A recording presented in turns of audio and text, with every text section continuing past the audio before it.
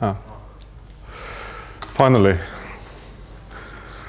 this is just just exciting every time whether the technology works, but hopefully we'll manage. Uh, welcome back to, to my, my uh, part of this lecture series. I will talk about uh, logistics and supply chain management. Some of you may have been through some of this before, but uh, some of you may not. So I, we, from experience, we find it useful to, to take you through uh, this, uh, this introduction and perhaps and hopefully we can have some discussions on uh, on this. Um, so um, the basis for uh, sorry, is this the right one? This is not the right one.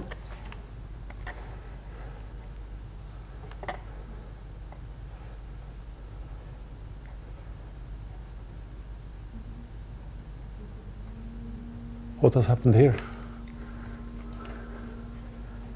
Uh,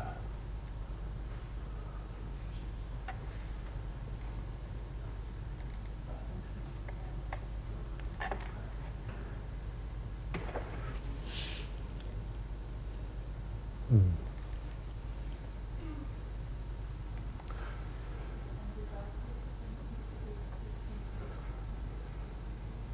Okay.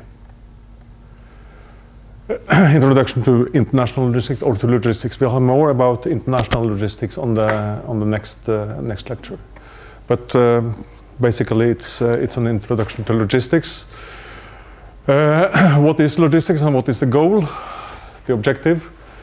Um, we'll talk a bit about uh, regional logistics assessment and more about that next time. Uh, and the role of transportation. And we'll talk about, a bit about supply chain management and the differences between uh, logistics and supply chain management. And, and, the reason why we focus on the difference is that um, the literature uses both terms. Uh, in various countries, if you are going to work uh, abroad somewhere, uh, the terms may be used in different ways.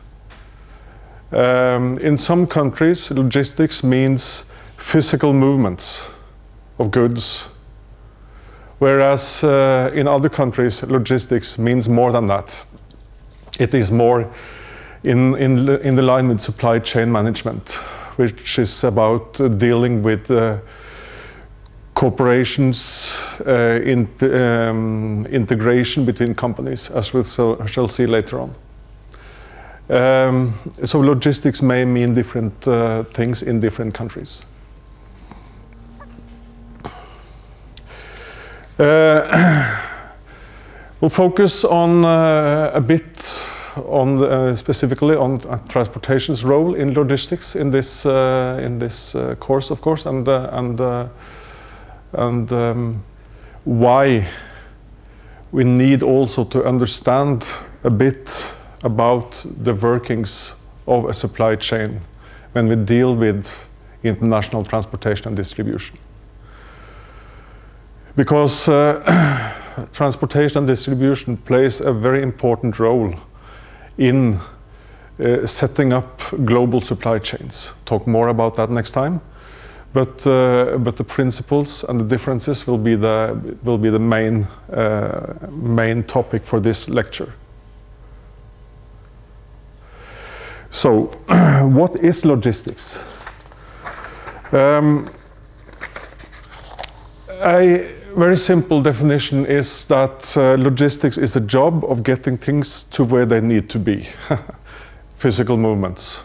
This is a classical definition.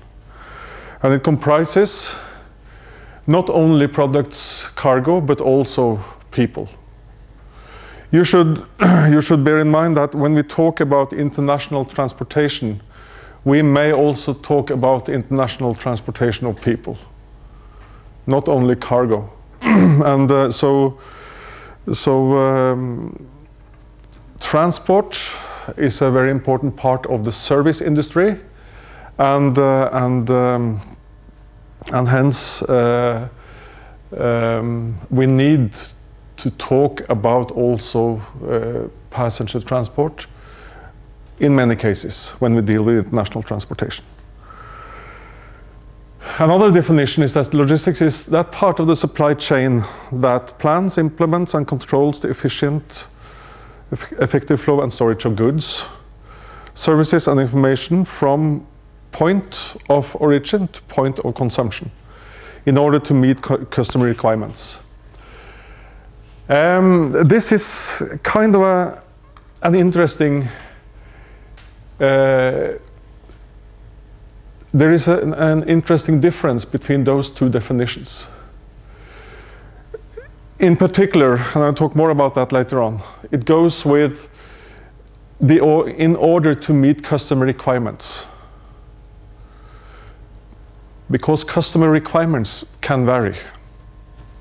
And companies can use uh, logistics to earn money by providing a different level of service to the consumers uh, in terms of, for instance, um, offering products like if you are willing to pay $10 extra or 10 euros extra, you can have a given item or a given service tomorrow. If you are not willing to pay, it will take you a week to get it. And of course, as, as we shall see, it, it may be more, uh, more expensive to, to, for, a, for a supplier to provide fast transport of a good or, or a service. But you can still earn a markup, a profit, by, by offering, uh, by offering a, a, higher level of service. You, you, you, may, uh, you may, if you are in the market position to do that, you may uh, charge the customers uh, a price a bit higher than, than the costs, and then you, then you make money out of that uh, transaction. Um, in this in this case, uh, in this uh, this definition by the Council of Logistic Management comprises at the outset only products and cargo. Um, but you may uh, expand it also to comprise a service. Because when we talk about differences in, uh, in, uh, in delivery time of an item, like a computer or a cell phone or, or whatever, you are actually talking not so much about production products anymore, but you're talking about service. Um, so, so that is uh, that is uh, an important, uh, let's say, expansion of this uh, this rather narrow uh, scope. Um, as I said, including the movement of people. Uh, also, I'll talk a bit more about that later on. Um, but moving cargo is has its characteristics. Um, it's moving from one location to another whereas people makes round trips. Uh, so it's it's a different uh, it's a different uh, modeling approach to to to modeling cargo flows rather than uh, than, than uh, flows of people. Uh, I'll come back to that in a later lecture. Um, cargo faces ownership issues. We'll have a, a separate guest lecture on on Incoterms on the 7th of November. Uh, Incoterms deals with, uh, among other things, the, the distribution of responsibility between uh, cargo owners, shippers, those who takes care of, uh, of the transportation agreements, and the carriers, those who are doing the physical transportation. So it's, uh, it's of course of interest to, to, to know when you are transferring responsibility from one party in the transportation chain from A to B uh, to the next party. So when does, uh, when does uh, responsibility uh, change hands? It has to do with insurance and a lot of issues which will be dealt with on the 7th of, of November.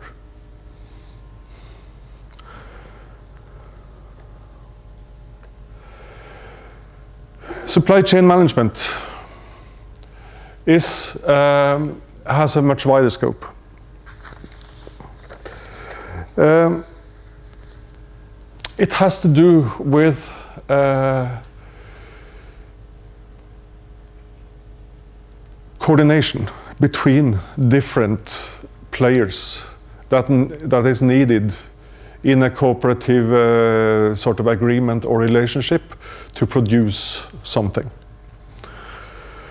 So it's, uh, it's a strategic coordination, also tactical coordination of business processes, functions across various players. Um, the main objective of, of that kind of, uh, of uh, cooperation or collaboration between parties is, of course, to, to make more profit, to become more efficient. And if you are able to become more efficient, more productive, you may, you may uh, gain uh, a stronger market position. That's, I mean, that's common knowledge. But uh, and there are lots of problems and challenges, very interesting challenges connected to such a, a, a, such a, let's say, a bunch of, uh, of companies working together to produce something. I'll come back to, to some of those issues uh, a bit later on.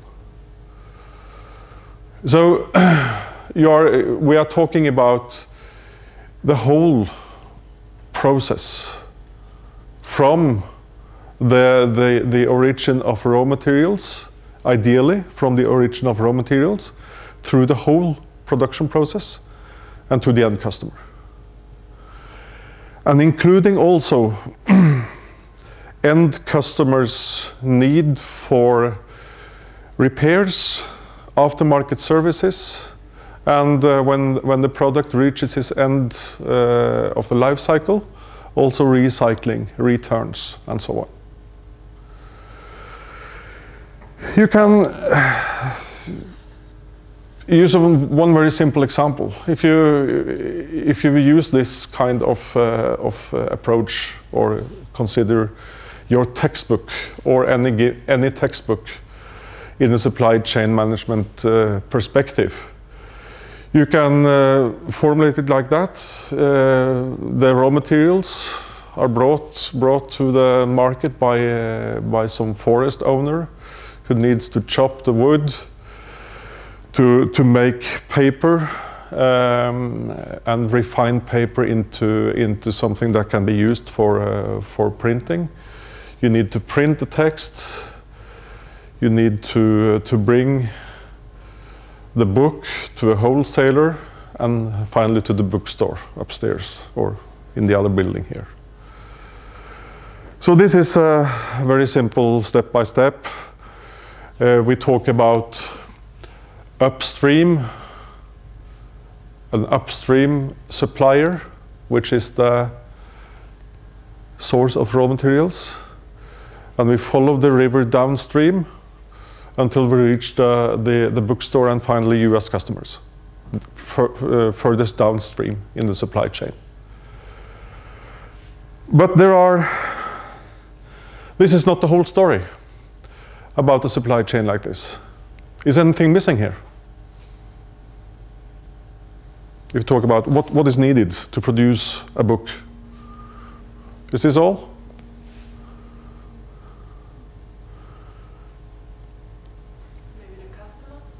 you need a customer. Customer is important. Without a customer, you don't have. Uh, I, mean, you don't have a market, and uh, and and you need that, of course.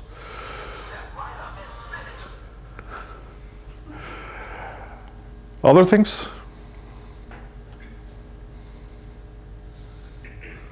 I, would say that you need an author. Somebody should write a book. Um, if you look at the book, or if you look at, uh, at anything that you, are, that you want to buy, there is something called design. You need to design the book, you need to set the print, uh, the design of the print, the design of the, of the cover. You need a cover. You need somebody to provide the print shop with ink.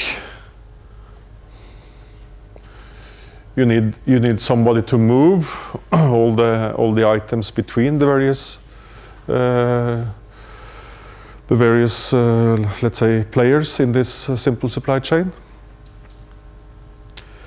You need shippers to coordinate. You need carriers to, to do the physical transportation. You need somebody to do the marketing job and everything. If you think about it, it's rather complex. And uh, and a lot of coordination is needed. I can give you one example. Um, that has to do with market and demand. Let's say that uh, a book is uh, is ordered by by uh, by a bookstore, and they see that uh, this uh, this book doesn't sell very well. It may be a book that I have written, for instance. It doesn't sell very well. I mean, I, I, wrote a book together with an English professor, and uh, and uh, year by year, the royalties of that book doesn't cover the, the fee that I have to pay to the bank here in, in Molde to get it out. So that's that's level. But it, it has improved. It has improved. But you, I mean, uh, the bookstore they just decided to cut the price to 50% of the of the of the original retail retail price. And what do they hope for? They hope for uh, increased sales, of course. And uh, what might happen, you never know, but what might happen is that the book suddenly hits the market and it starts to sell in buckets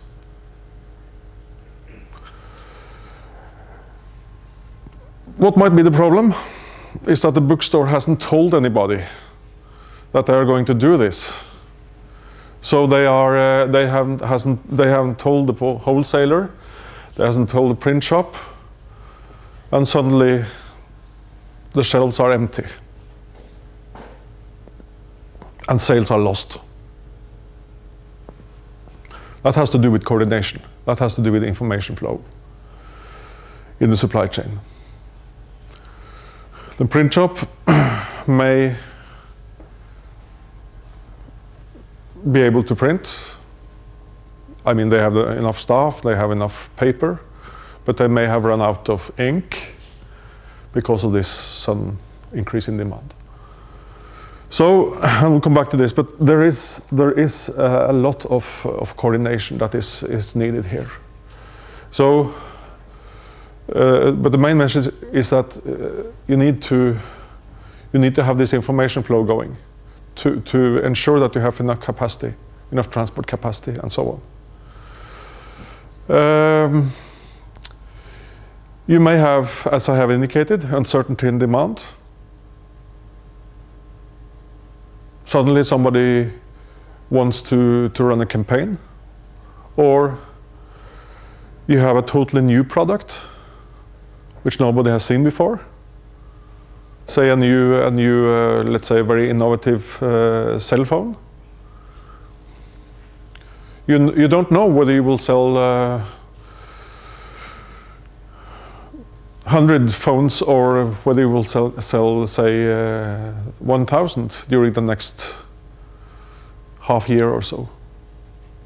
And, uh, and if you aggregate the numbers, uh, the manufacturer is, is, has to, to cope with the very large fluctuations in demand or a very high uncertainty in demand.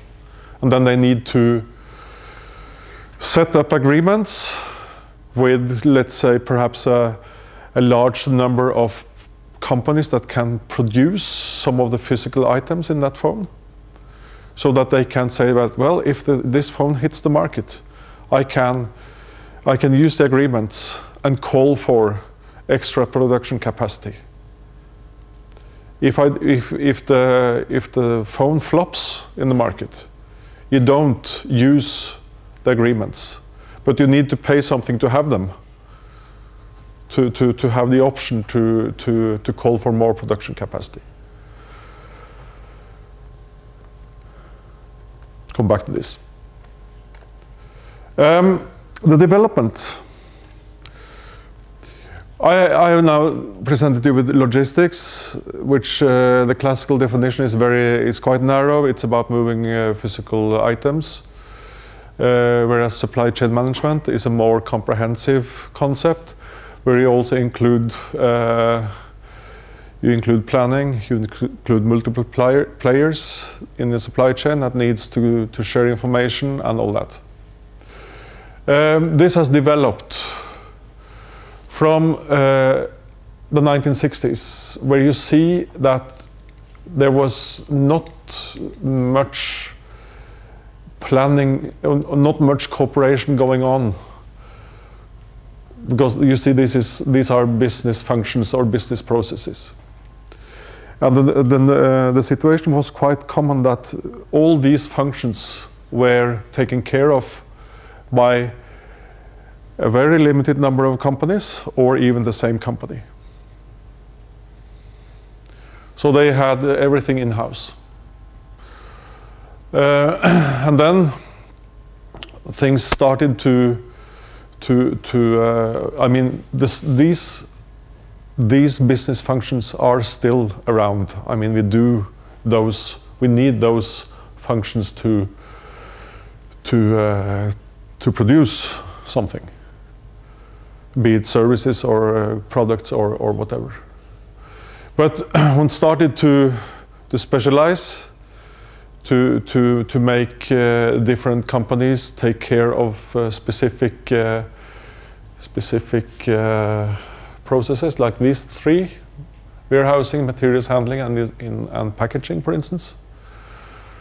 And one started to split functions onto different companies but then integrate operations between companies instead of between various departments or, uh, or divisions within, within one company. I, uh, I grew up in a, in a town south of Oslo. They used to have a big shipyard. They used to have a big shipyard. And they did everything. I mean, they, they uh, did everything from uh, steelwork. Uh, I think they bought the engines, but that, uh, but uh, apart from that, they made everything. They all the carpentry to make the interior of the ship, uh, the cranes, everything was made in house. and you can think of what that may result in if something goes wrong. I mean, if the end customers disappear, if the market disappear, which actually happened through the 1980s in that town. A very large company with a lot of internal functions went bust. And you can think in terms of uh, perhaps it would have been good to use the local carpenter or the local uh, welding company to buy the services. Let them do the work on the on the uh, within the shipyard. But those companies could also do other things for other customers.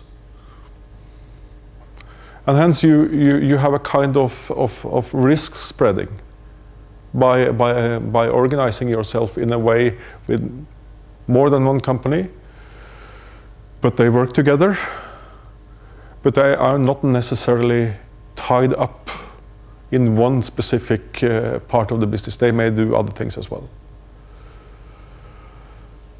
Uh, so that kind of, uh, of integration splitting on different companies and integration has moved on towards uh, our days in year 2013, but with more focus on uh, co um, cooperation between many companies, especially when we talk about producing uh, complex, uh, complex products. And what has made this, uh, this possible is many things. It's culture, it's, uh, it's uh, the mindset of, uh, of people. Um, but the main,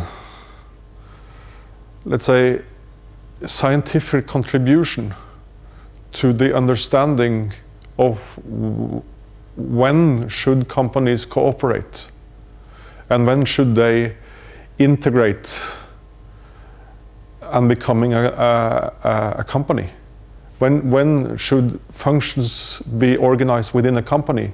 And when should functions be organized between companies?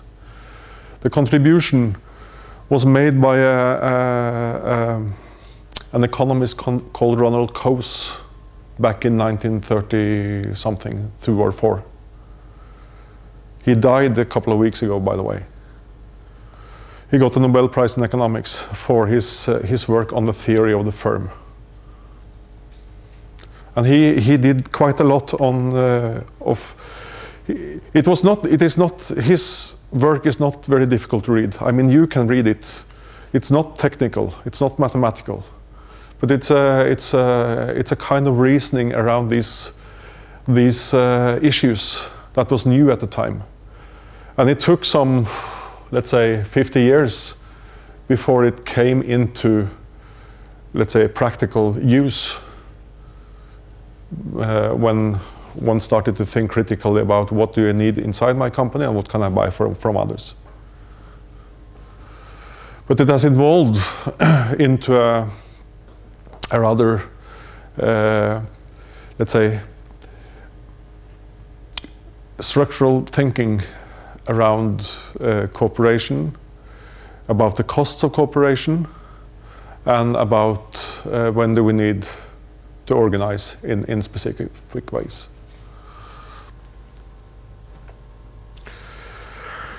So, what is the goal of logistics? And then we are uh, back to a bit more on the physical movements side, which is uh, which is what is was this course is actually about. But I want to I want also to, to talk quite a lot about supply chain management, which uh, which is not only about about physical movements, because physical movements plays a very important role when we are when we are setting up supply chains and make the decisions about whether to integrate, cooperate.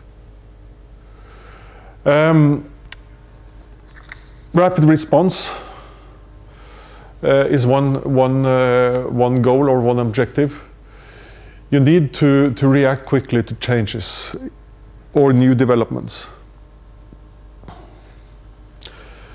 The extreme, perhaps, uh, the, the industry that is really at the front of being responsive and, uh, and uh, coming up with new, new products all the time is the, the cell phone industry. They, uh, they are pouring new phones uh, to the market uh, every week. Um, so to, to be able to, to respond to, to uh, changes or even to initiate changes by by trying to find out what are the end customers needs and trying to or trying to also to of course influence what needs the end customers have in uh, I mean in the first place is, is an important issue. But also changes may also be about unforeseen circumstances like if uh, if uh, some uh, something happens to one of your suppliers, like this famous fire in a, in a, in a microchip factory that served uh, Nokia and Sony Ericsson with, uh, with microchips for their cell phones. Then the, the, the buyer of those products, the microchips, they should, should try to find out what are the risks if something goes wrong with one of my suppliers. Do I have a plan B to cope for that? And on, uh, on the transportation side, what happens if if my uh, if uh, on the micro level, if a lorry breaks down with critical uh, items, what what should I do then?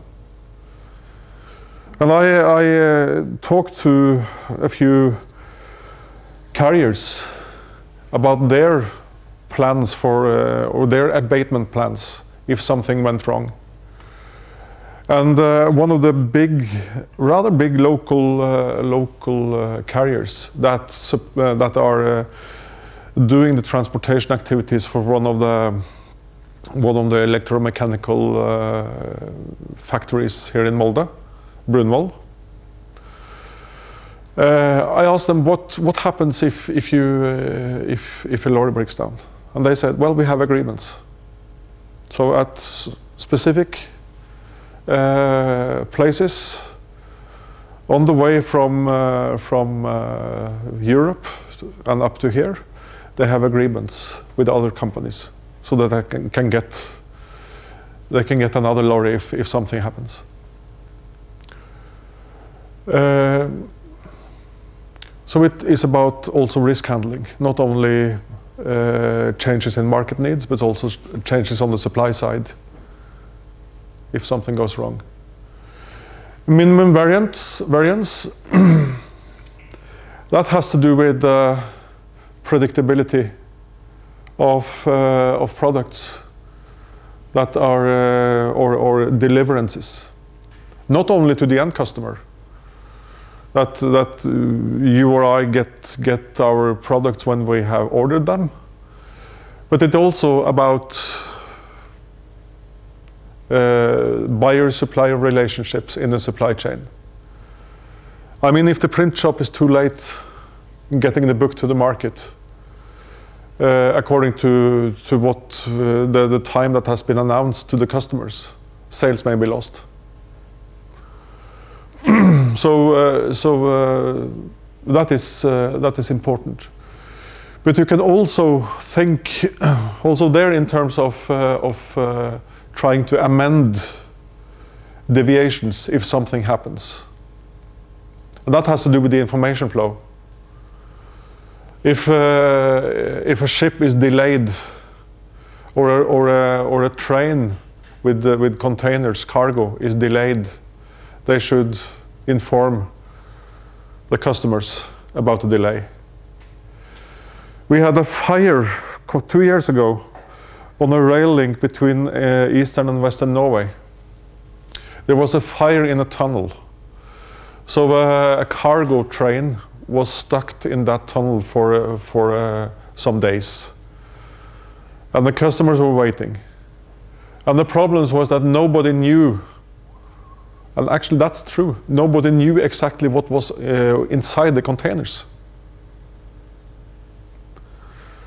So we have a research project going on here at this college as we speak, trying to, to develop systems to make it transparent what is actually on board a train going from, uh, from Oslo to Bergen.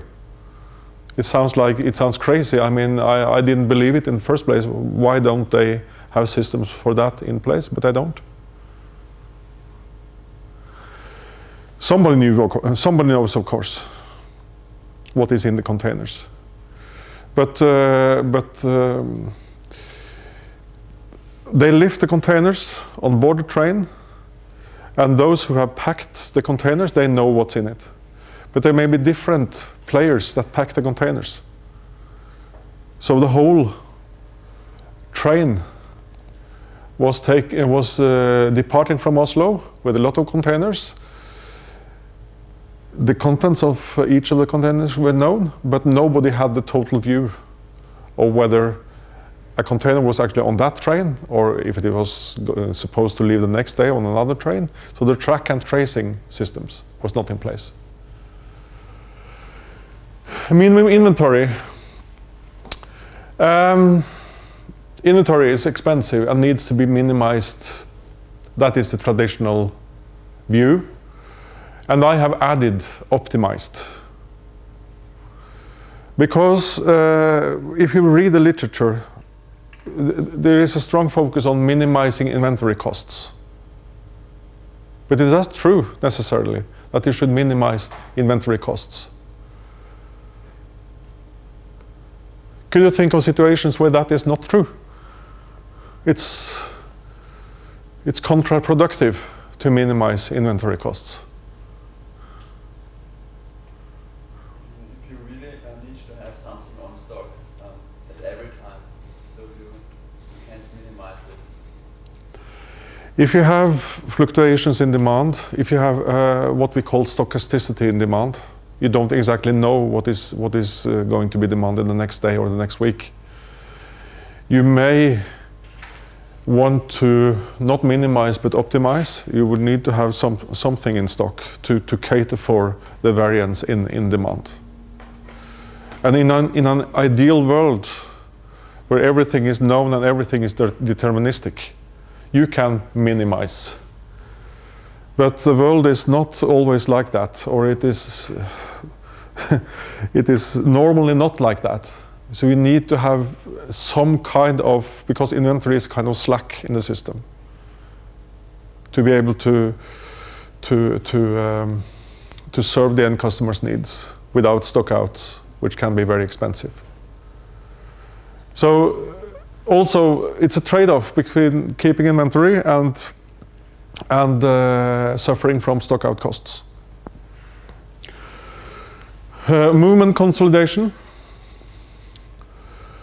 Um, transport costs can be reduced by consolidating many small shipments into bigger and less frequent ones. Seems fair enough. But it, is it always like that? Is it always a good strategy? Um, it depends on the type of cargo. That goes back to what I, I talked about, this uh, level of service in, in delivery, in speed of delivery. You could think that uh, goods shipped in large quantities with a very stable demand uh, and not many possibilities to, to differentiate the delivery speed. I mean, uh, let's say an everyday sweater like this, which are shipped in, in large quantities. Um, that might be a good strategy. But for other more time critic uh, commodities like uh, the extreme might be, uh, be important medicines for hospitals and so on. You may not want to delay, you may want to take the costs and, and, uh, and get the shipments done right away. So this is not, I mean, you meet such statements in the literature, but it may not always be the full truth.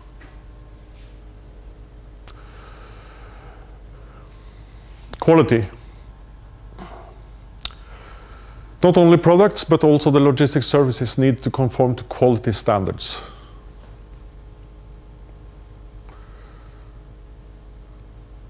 That may not, uh, I mean, I can accept that statement as it stands, but you may, may want to reflect uh, a bit upon that as well.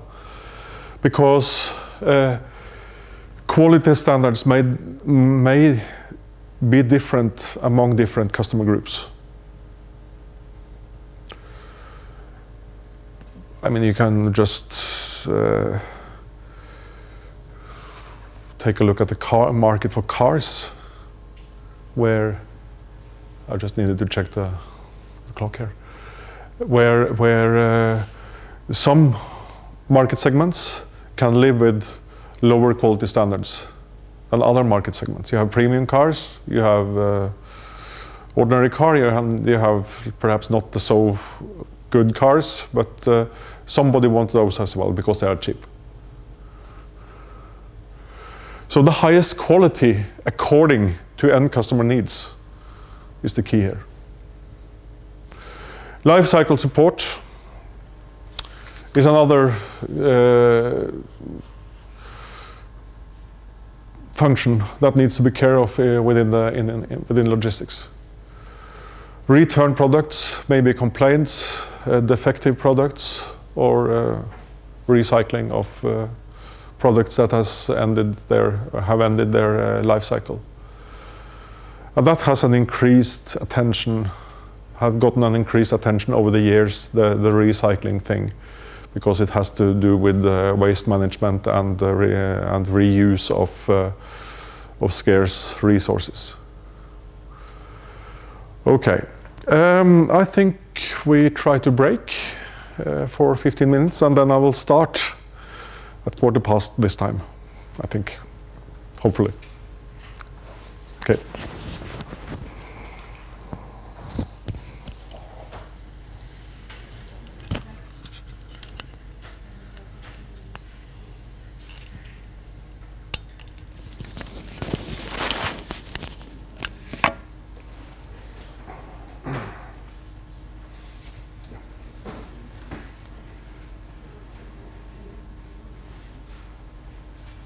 House Many lectures earlier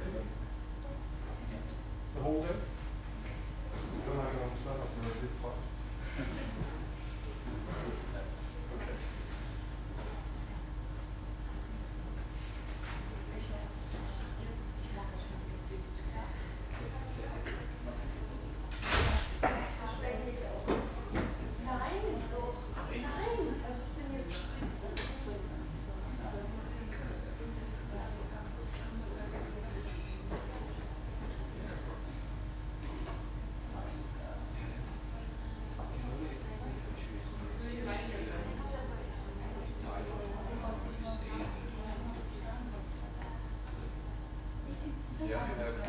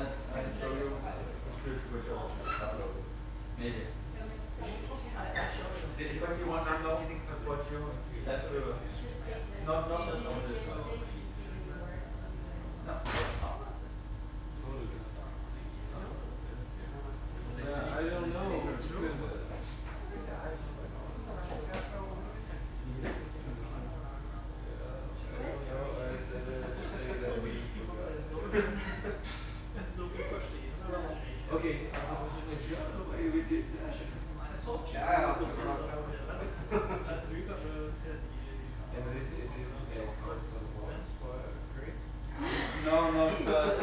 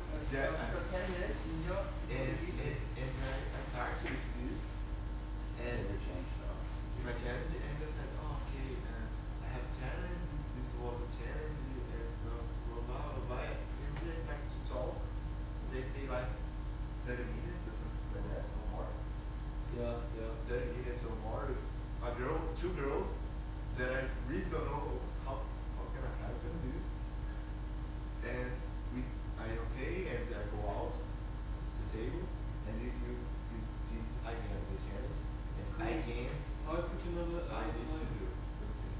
How, how can we not line here? Where? Here, another line on the table. Yeah, just. Then. Uh huh. Hey.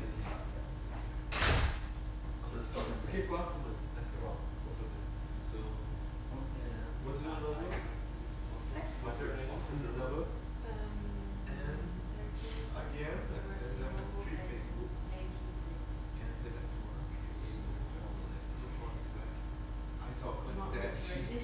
There's some like that.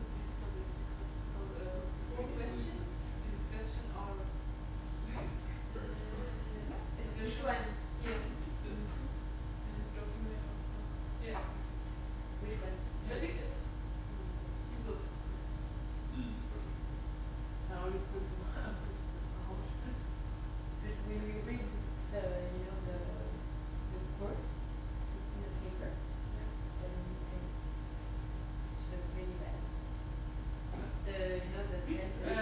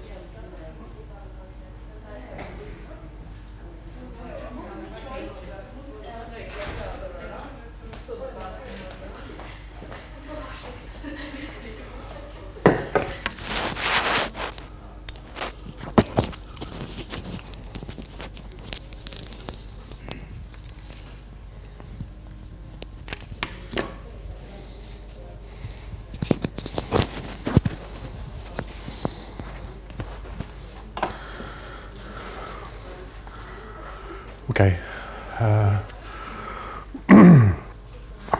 then we continue. Um,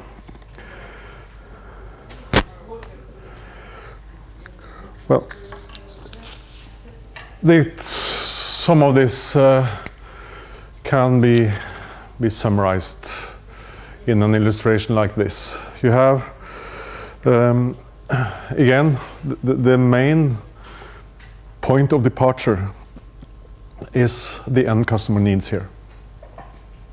So you have the, the right products, the right quantity, uh, delivered at the right moment at minimal costs. and then um, uh, flexibility has to do with uh, being able to cope with, with some with changes. Uh, I have we discussed that uh, a bit uh, on the previous slide. Flexibility that has to do with, let's say, optimizing the necessary in inventory level, but it may also have to do with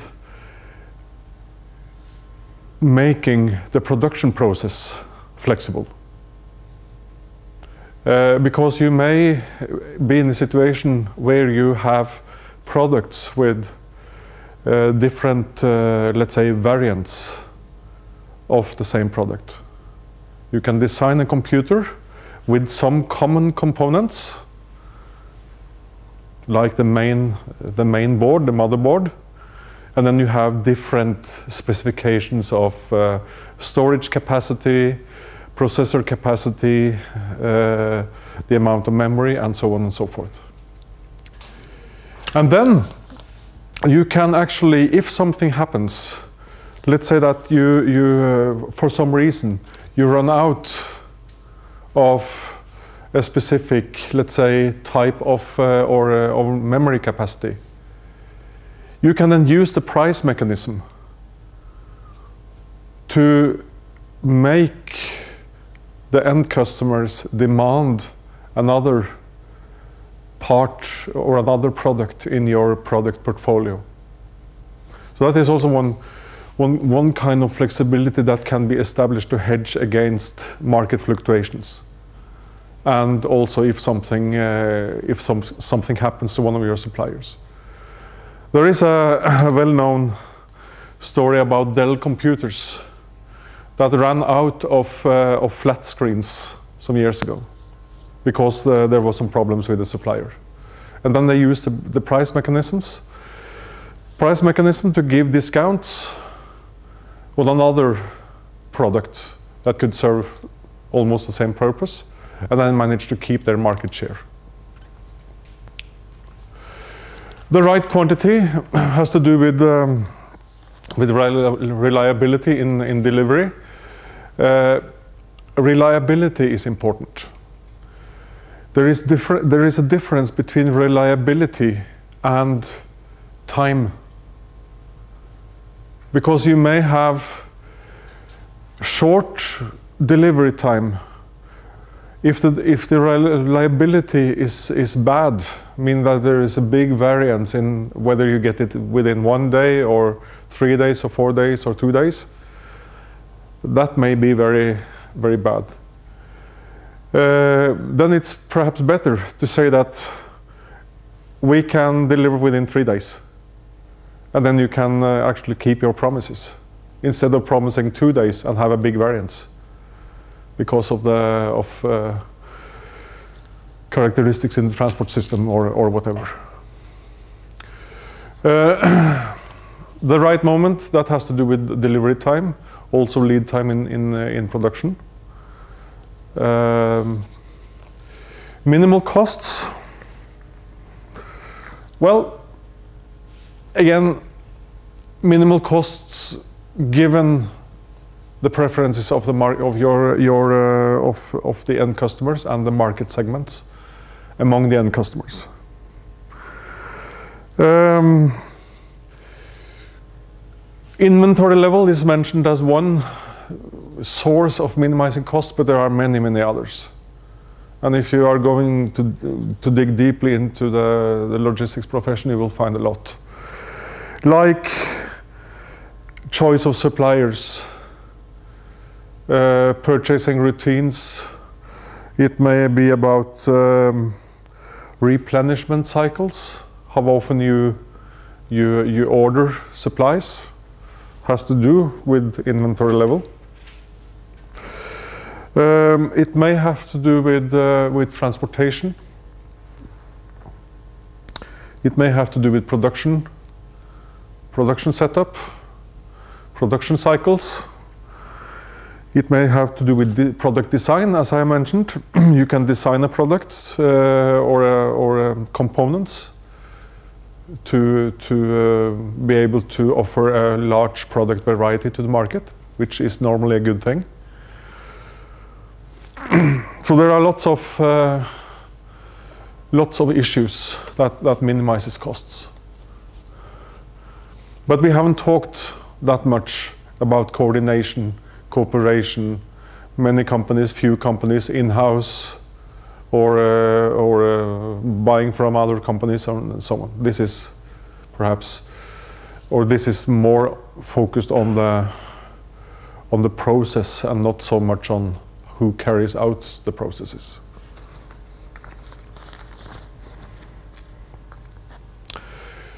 A few key terms. Materials management. It's good to have a definition of, of, some of the key terms that you will come across in the literature. Materials management. What the company does with its inputs, how it acquires materials, how they're handled, and how they are shipped out of the factory. That is a flow of materials. Physical distribution. It's what we are mostly dealing with in this course uh, how to move the products uh, to the market. Um, and also, I mean, if you are observing a supply chain, uh, what is distribution from one of the players in the supply chain to the next link in the supply chain is, uh, is its outbound or outbound physical distribution for one player maybe inbound uh, may, may of course be the inbound flow for another for the next link or the next player in the supply chain. the, then, uh, when I'm talking about next, it's the next player downstream in the supply chain. Uh, business logistics. Here we are approaching supply chain thinking integrating more ad, uh, administrative uh, functions like financing, uh, like marketing, onto the more physical part, uh, like transportation, warehousing, and so on. A decision on transportation will, of course, have financial effects. And, and business logistics and the to be conscious about how a transportation decision may influence all the parties that are involved in the in the process is uh, is what this is uh, this is about. On the first lecture, if you remember, I mentioned this um, case where uh, the credit crunch, the global credit crunch, caused shippers to, to uh, consolidate containers to fill the container ships. And that took a lot of time because the demand dropped. And that had, of course, financial effects on the customers that uh, was supposed to receive this, these supplies perhaps as a part of their production processes. That is one example.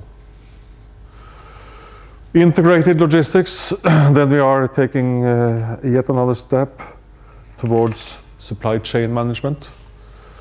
Uh, involves the activities of suppliers and customers as well. To Come back to that. Operations. Um, like that is a kind of would you can you can consider it as a transformation of uh, a product or a service from one stage to another. When you when you uh, when you move something from A to B, you transform um, a given product from one state to another by adding components or doing uh, any kind of production process. That is also what is encompassed by operations. If you are uh, if you are training your staff, that is also an operation in, in, in according to this definition. Inbound logistics has to do with sourcing, material management. So what is outbound by one by the upstream player in the supply chain is inbound by the down, downstream, the next player downstream. Operational log logistics um, emphasizes the way logistics affects operations. It's um, like, for instance, if you think of products in terms of modules that can be changed to, to increase product variety. That is an example of that, as I mentioned. This is, goes without saying. Uh, logistics within the firm and between firms. Between firms is, of course, the the core of uh, of supply chain uh, management and uh, or supply chain yes supply chain management and uh, the how you perform logistics between firms will or may affect the logistics within the firm.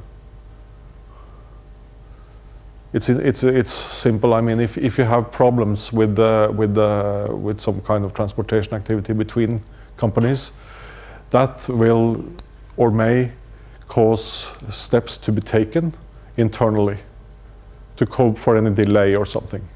It is a simple example. You need to call out people to unload a container during nighttime because of a delayed arrival entails costs and, uh, and everything. Yes, international logistics, we'll talk more about that next time. But uh,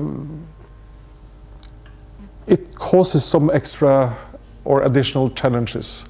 It causes some, uh, some risks that are, not that are not necessarily in place if you if you consider a, national or domestic uh, chain of logistics operations. Culture dif are different and, and, and so on. We'll come back to that. And here you see the what I started out with, that uh, in some European countries, like France, logistics are interpreted at, as, uh, as uh, more operations management, management of flows. If you if you drive uh, along a highway in Europe, you will see lots of trucks with the name logistics and some company name on, on, on the side of it. That is movement. Uh, whereas uh, in, uh, in Japan, logistics are more interpreted as integrated logistics or, if you like, supply chain management. So I'm just, I'm just talking a bit about this because when you're supposed to read read articles, and if some of you are going on going further on to, to a masters in uh, in logistics or operations management somewhere in the world, uh, you will come across various use of these terms. Um, trends in logistics spendings, a few words about that. Uh, some, some numbers. Uh, in the United States, 10% of the price of all goods are attributed to the cost of logistics in terms of uh, movements of cargo uh, or products, components, and also the transaction costs connected to that. And the transaction costs are, uh, that is actually a complex issue. And transaction cost analysis is a spe uh, specific field within economics where a lot of research is done. But the simple, the most simple transaction cost is, let's say, what you pay for, uh, for supplies and uh, including transportation from from the from the supplier to the buyer, if you are a customer, to, to you as a customer.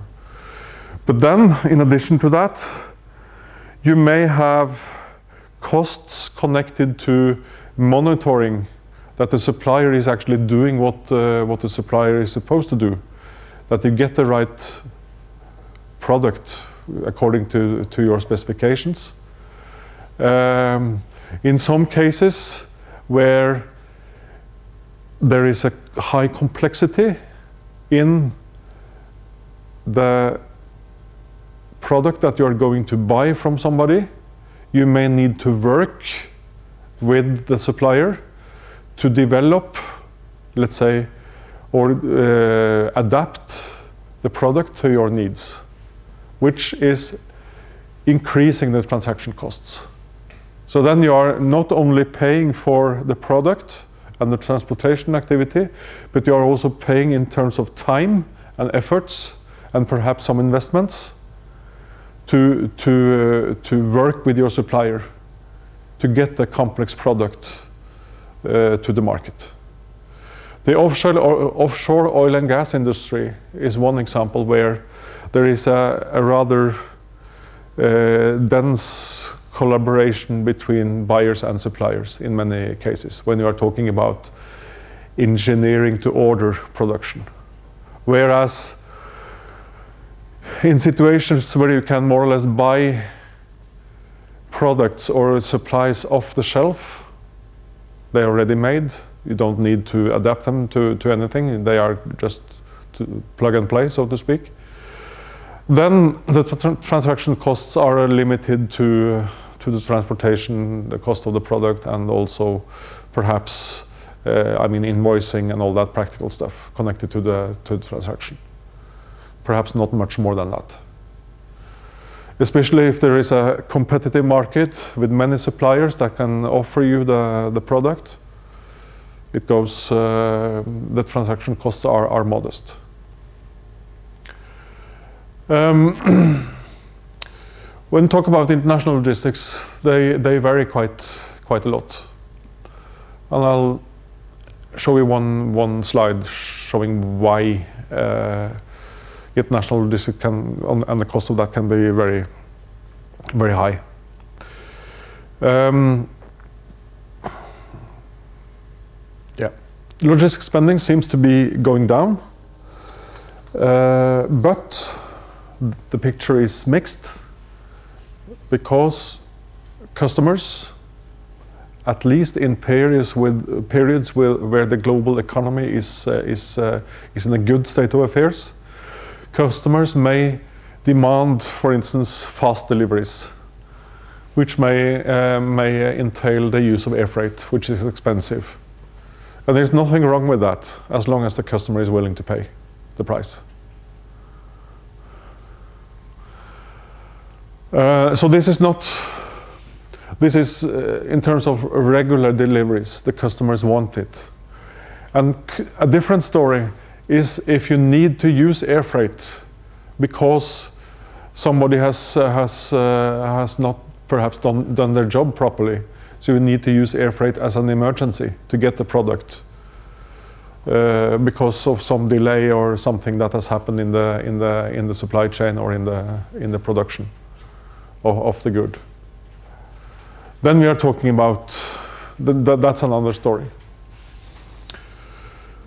The level of econo economic activity and trade, as we saw in, during the, the last lecture, trade is of course affecting logistics costs. Lower production prices in, in other countries, uh, the use of their comparative advantages to ship their products to, to, to another country and vice versa increases uh, logistics costs.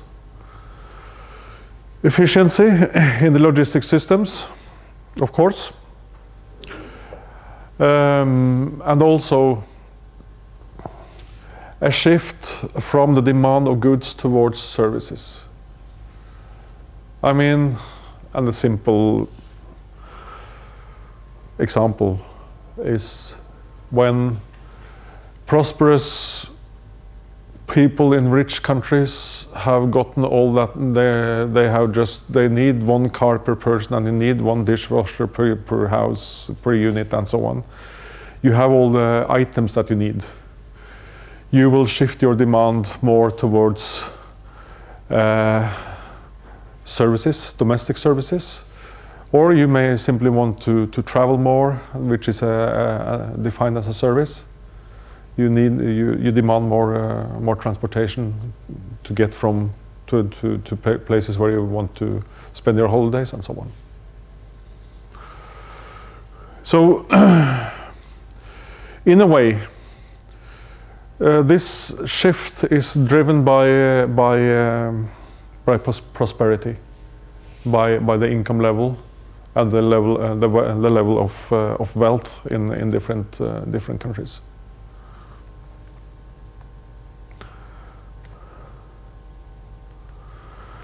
This is just, uh, I didn't manage to get any newer number numbers than 2005. Uh, this shows uh, very simply the, from, from the US. Uh, I will show you some Norwegian numbers and also some uh, international comparisons uh, afterwards. And, and uh, this says something about the total spendings. And you can say, well, okay, that's, that's interesting, but so what? Because you have the it's not indexed but you have the the the absolute numbers in in in billions um, billion dollars per year from 1981 and, and onwards uh, and those are in real numbers so we can compare Uh, in, in that respect what you see here is that inventory carrying costs the lower line here is not it hasn't grown that much over the years. But transportation has grown quite significantly. Administrative costs is more or less constant here. So, what does this tell us? Because, okay, you can say that, well, it's, um, of course, the activity level has increased over this uh, 20 plus year period.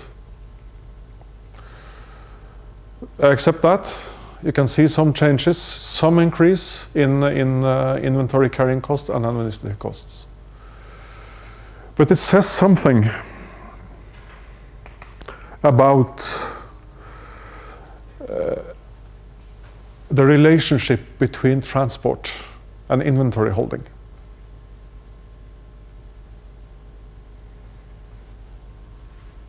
What is that? It's simple, rather simple. It's more focus on um, perhaps smaller shipments. It may be more focus on on uh, on just-in-time deliveries, less than full truckloads.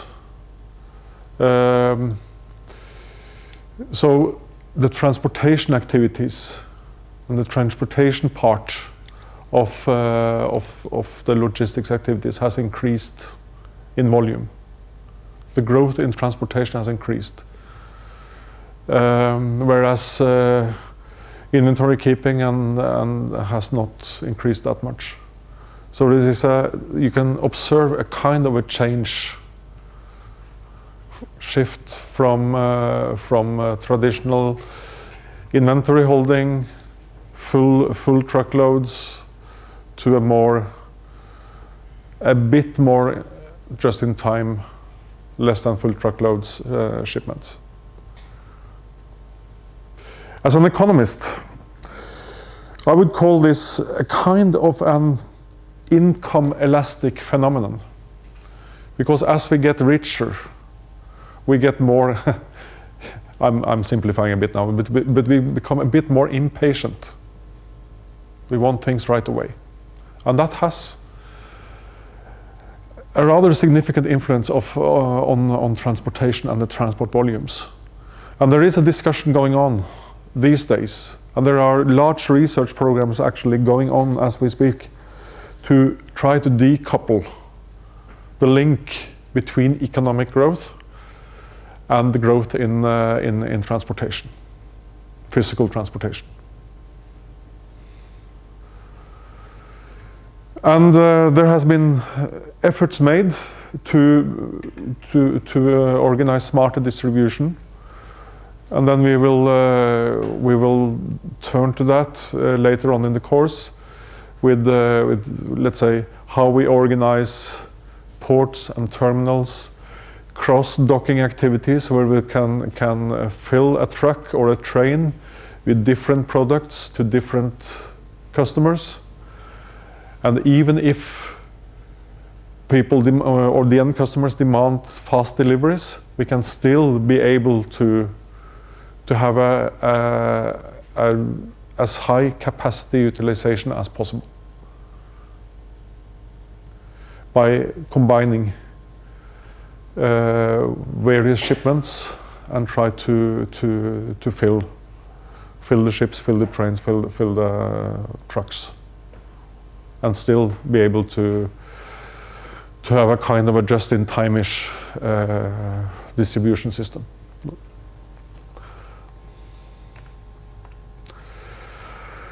Then um, regional logistics assessments.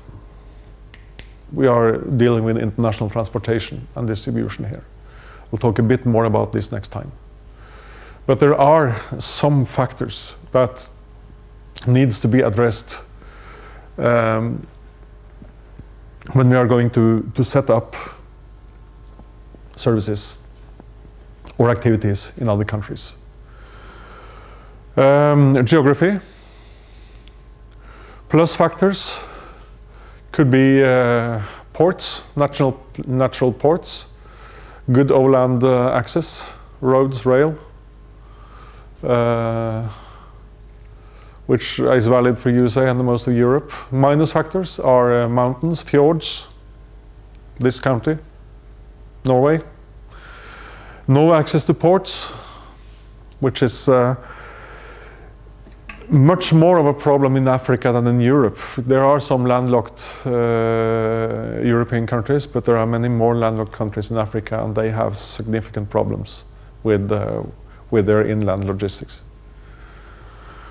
Physical infrastructure, then we are talking about uh, the transport infrastructure. Uh, this is important.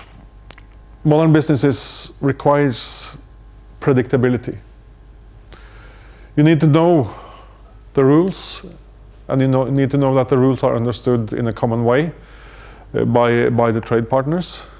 So that, and this affects reliability. It affects costs, of course, but it affects reliability. So, I mean, variance in the transportation times are normally much more expensive for the end customers they, they, they want to avoid uh, variance.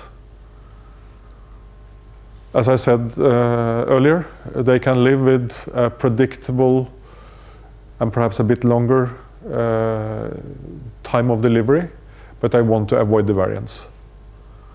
And this, if you, if you don't cope properly with, uh, with the legal and business infrastructure in different countries, the variance can be enormous.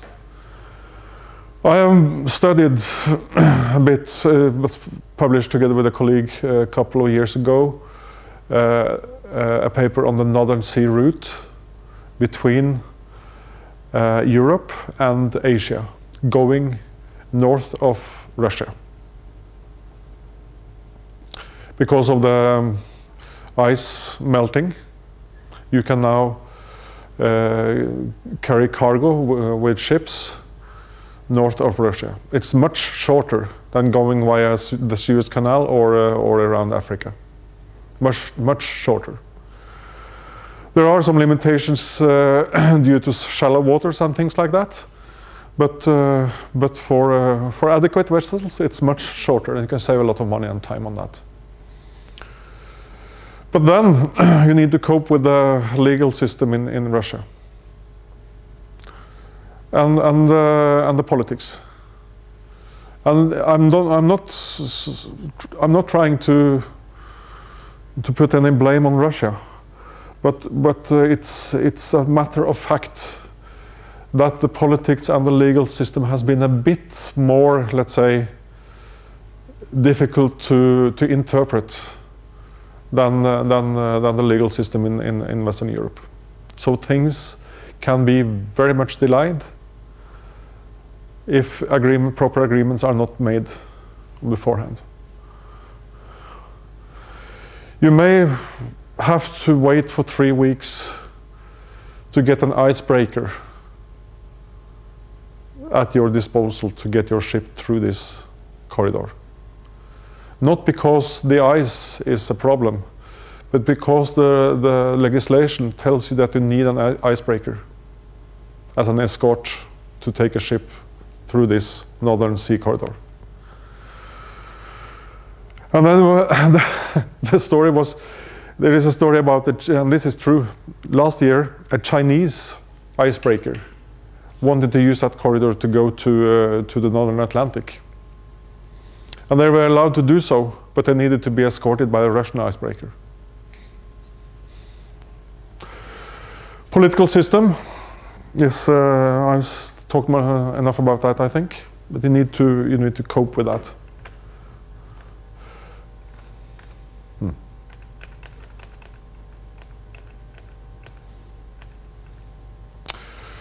This is an example of a very simple analytical scheme that can be used to address some of the issues that I, uh, or, or at least the consequence of some of the issues that I mentioned. This is an example of a cost time profile for an inland shipment from Mombasa, which is a, a port down on the southeastern part of Kenya, here, and up to Nairobi. And uh, you may want to uh, consider uh, if you are going to ship a product to, to Nairobi or if you are going to plan for, uh, for transportation activities. You may, you may for instance, uh, have um, a perishable product that you are going to ship from Kenya to Europe. They grow a lot of flowers in Kenya that you can buy here in Molde, for instance. And you need to plan because flowers they tend to not want to be on the road for very many weeks at least. So the distance between these two cities are around 400 kilometers. And then you have the time. Because when you talk about perishables, time is the most critical factor. So you can sit down, collect data, and set up a very simple time cost time profile. Start here in Mombasa, and you can assign the operations and the time needed to carry out the operations. Three hours for a weight station to weigh your vehicle to be able to ensure that it is uh, that it can um, cope with the roads, the road standard. And then you have over a distance of some uh, 300 kilometers, you have a number of police checks along the road, which is a part of the legislation. And you have other driver delays. And you need, of course, if you're going to try to streamline this transport chain, you need to address what are the causes of these delays. But you can say that this is a first order analysis. And those of you who are, who are uh, still awake, you can see that there is, a, there is something wrong here because from 4 and up to 11 hours, that should be uh, around 5 hours, right? The here is said 13. So the scale here is, is not good. But just forget about that. The point here is that during this 300 kilometers transport, there are some issues.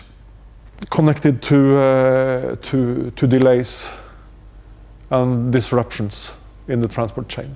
And then you have a new wait station, and then you, you move a, a little bit, not too, uh, not too time consuming, and then you have the unloading.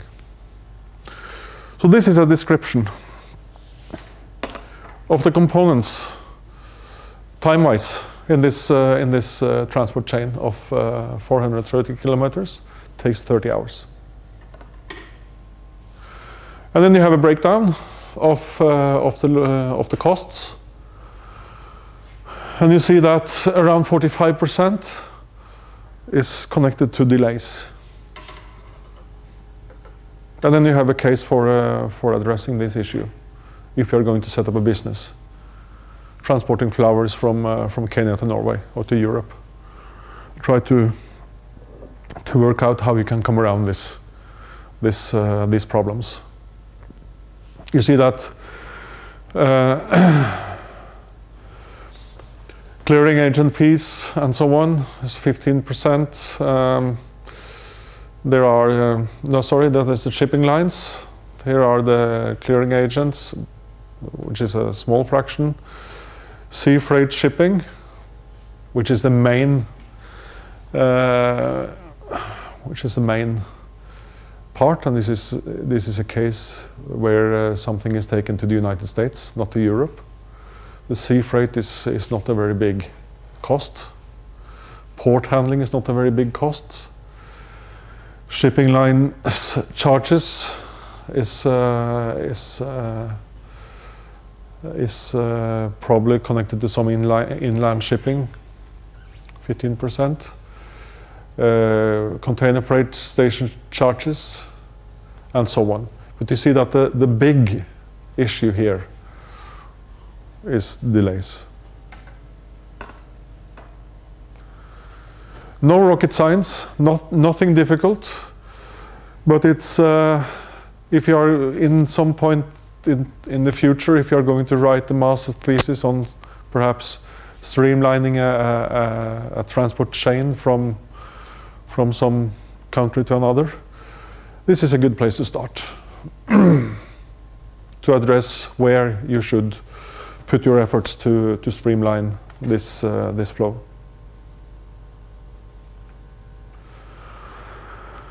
The performance cycle is another key issue. Um, this is simply uh, the activities that takes place from when the demand is, is recognized, or if you like, the order is placed, and then on to uh, when the payment is collected. That is the performance cycle. From order, reception of order, and to the to the reception of payments actually. So you can break down them into four, four uh, main categories. Uh, documentation, communication, and transaction, those are parts of the same story. Uh, but transaction, as I mentioned when I talked about transaction costs, is a much more comprehensive topic than just documentation and communication. Because that has to do with how parties in the supply chain may integrate depending on the nature of the product. And that may also in, uh, involve transportation because uh, well I mentioned this um, this uh, transport company that served one of the bigger company uh, production companies in Molde here they have in a way they haven't integrated they are two separate companies but they have in a way uh, joined forces to develop uh, special carriers to carry some of the heavier items on, uh, on, on the road. So that has, of course, involved some investments and some time to develop things. So, so transaction is much more than just handing over money or sending invoices and documentation and things like that. It's also about how you cooperate. And then production and distribution. So the, the main goal or objective is to, to, to um, produce according to specifications. Perfect is in a way a, a, a term that, as I have talked about, it depends on the needs of the end customer. What is actually the meaning of perfect can, can vary among market segments. Uh, but also in terms of being able to cope with disruptions, mistakes. And that is not trivial. Because um, if you remove every slack in a, in a chain, in a value chain or supply chain, mistakes can cause a lot of problems because everything is geared towards seamless production. And when something happens and you don't have any any inventory, any kinds of, of slack in the system, you may have uh, you may uh, face high, very high costs of fixing the problem. Uh, so that is also part of, of the performance cycle to, to be able to cope with the deviations, disruptions. The role of transportation in, in, in, uh, in the, as part of logistics here.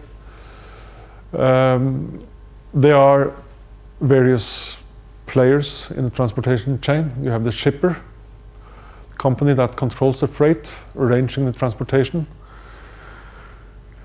setting up uh, the services. It could be the owner of the cargo, but it could also be the consignor.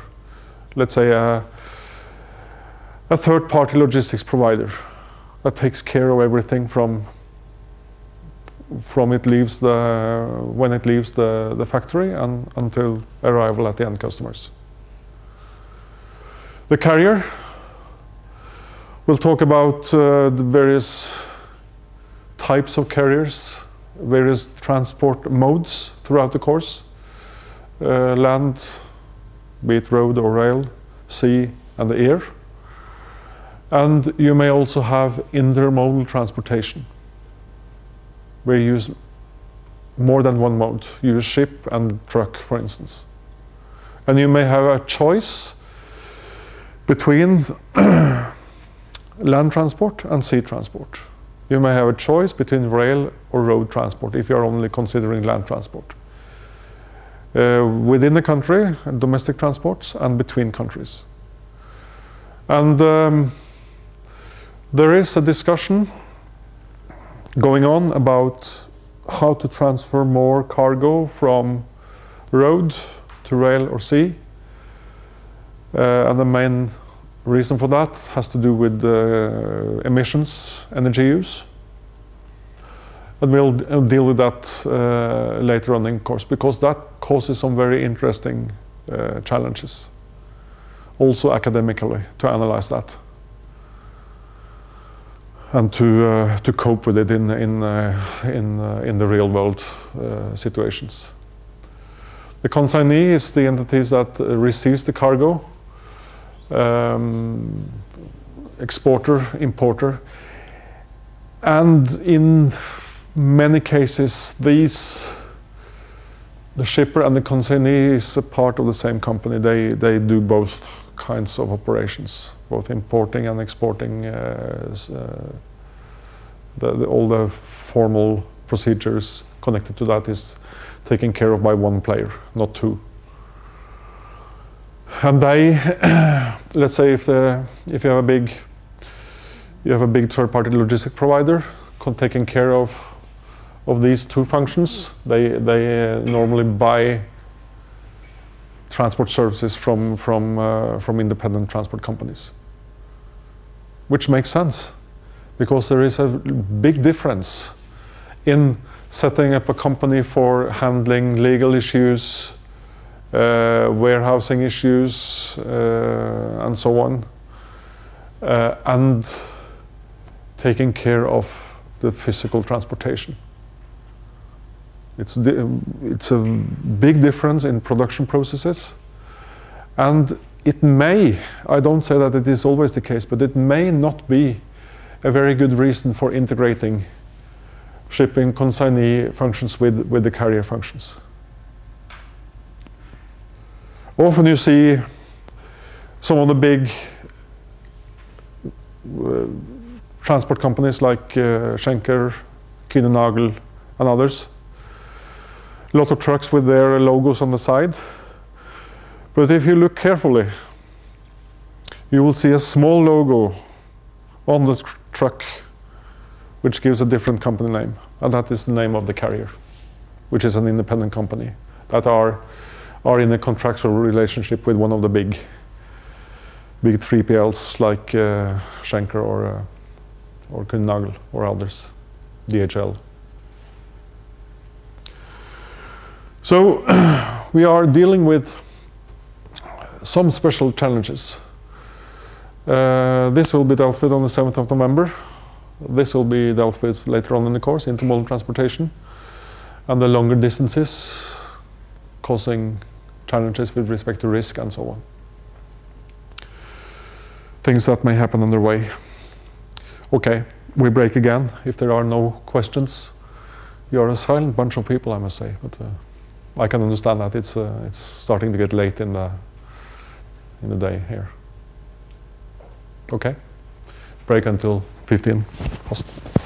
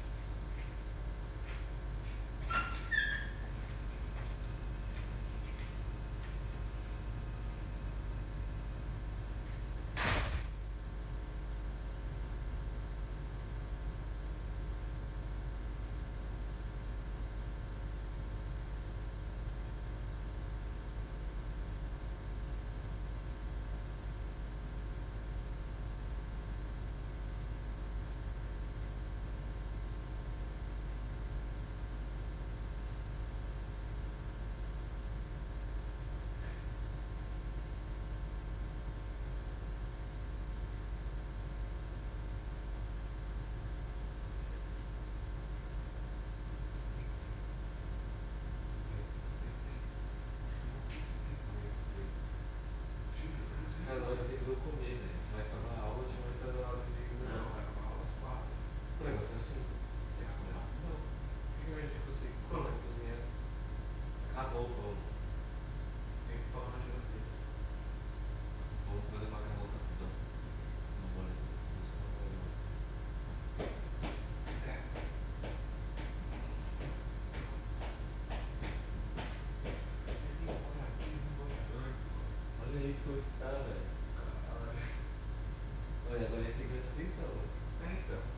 Uh, we are the only não é? Parece claro.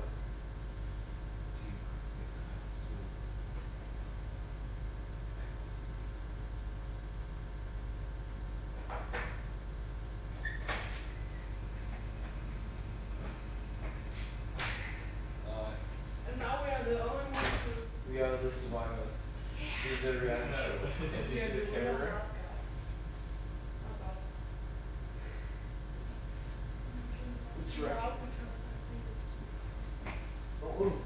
check it for this camera can see my computer and see what I do. No? Um, Just, I think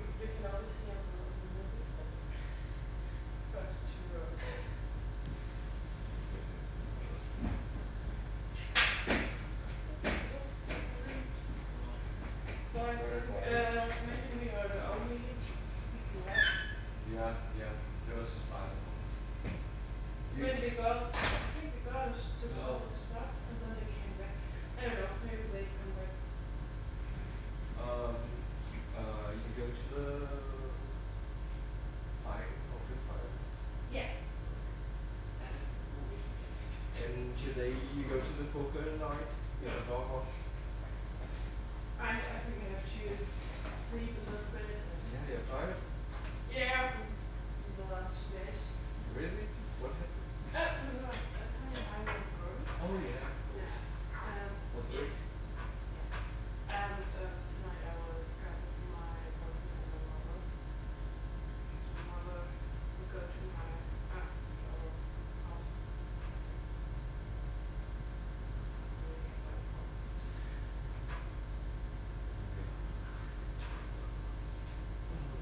20s are here, she's tired.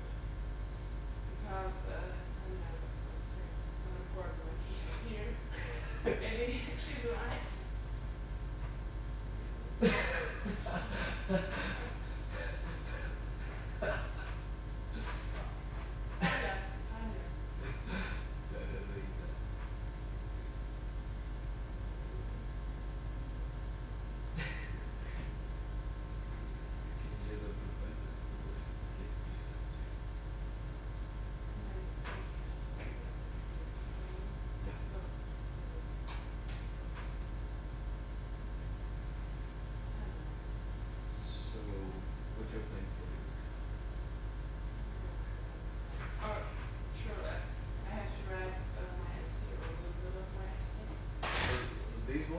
Yeah. Right?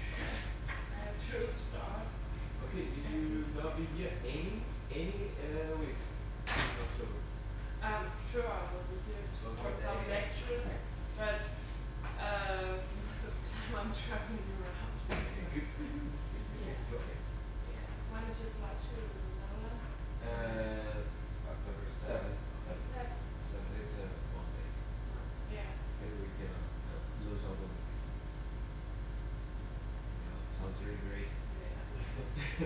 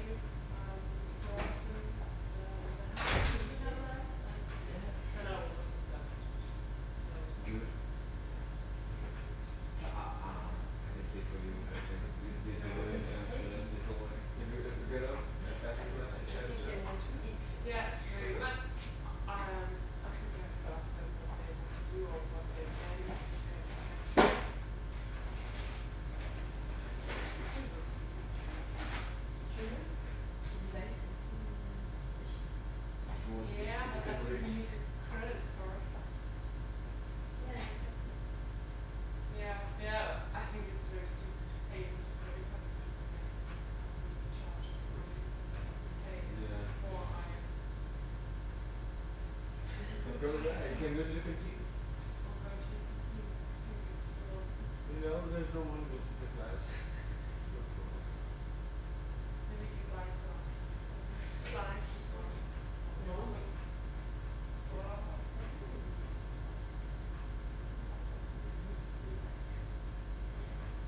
It's almost the same. No? yes. Yeah, then buy something like yogurt.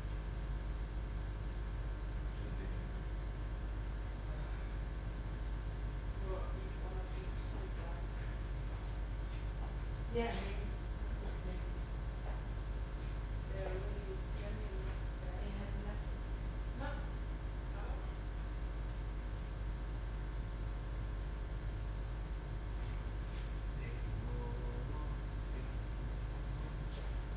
So have you planned any other trips here? Only in the Netherlands and No, no, it's a, we're going to Netherlands and then we go to, and I go to Switzerland and then we go there. And then we are planning to, when over the next uh, semester, we take a car and drive uh, Norway, like you do with your parents, yeah. and go to Oslo and then take a car.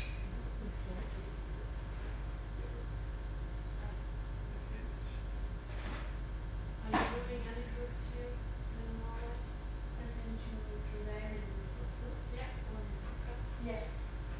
And uh, I'm planning to go to Helsinki. Ah, okay. See some friends. They're exchange students. Ah, okay, yeah. Yeah, I want to go to Stockholm.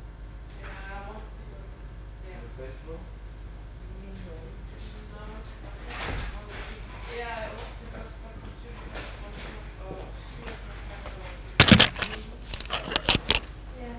But the flights are so expensive.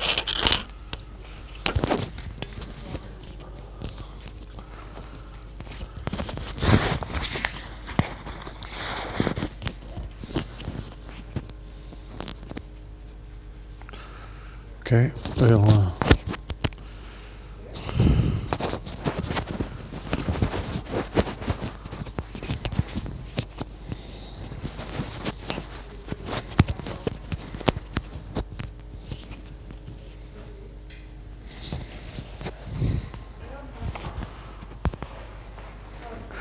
okay, let's start again.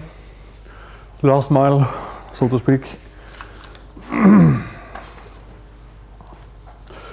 Um, moving on a bit to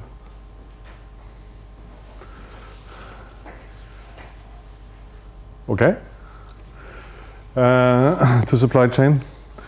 Um, then, as I said, it's uh, it's uh, a sequence of uh, suppliers or players that contribute to the creation and delivery of a good.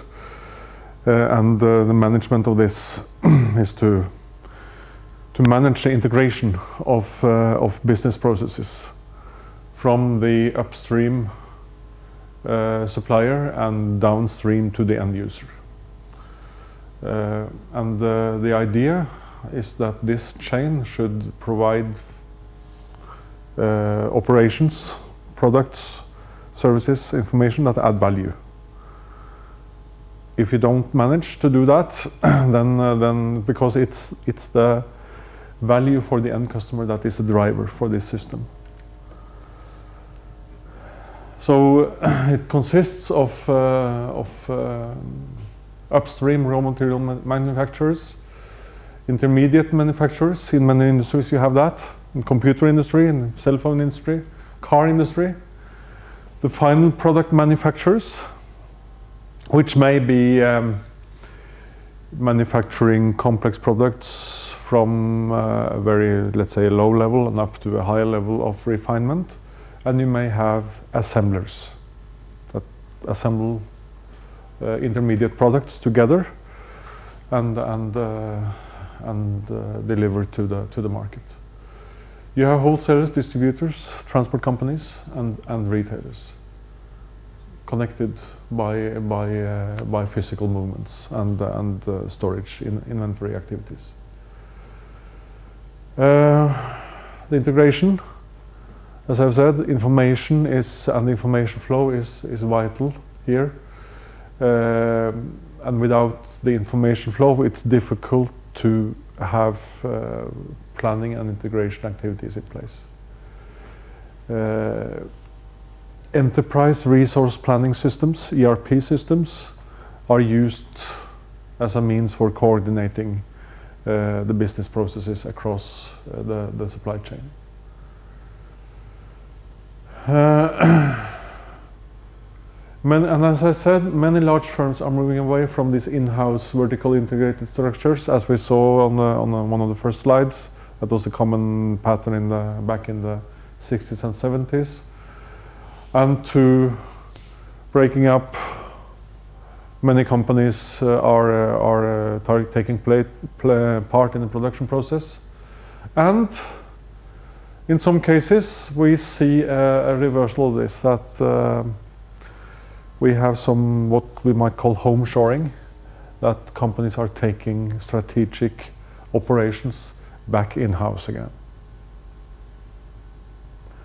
And the reason for that may be, uh, there may be many reasons, but one of them is that if taking, uh, taking uh, operations back in-house, they may cause, they may create a larger strategic distance towards their competitors.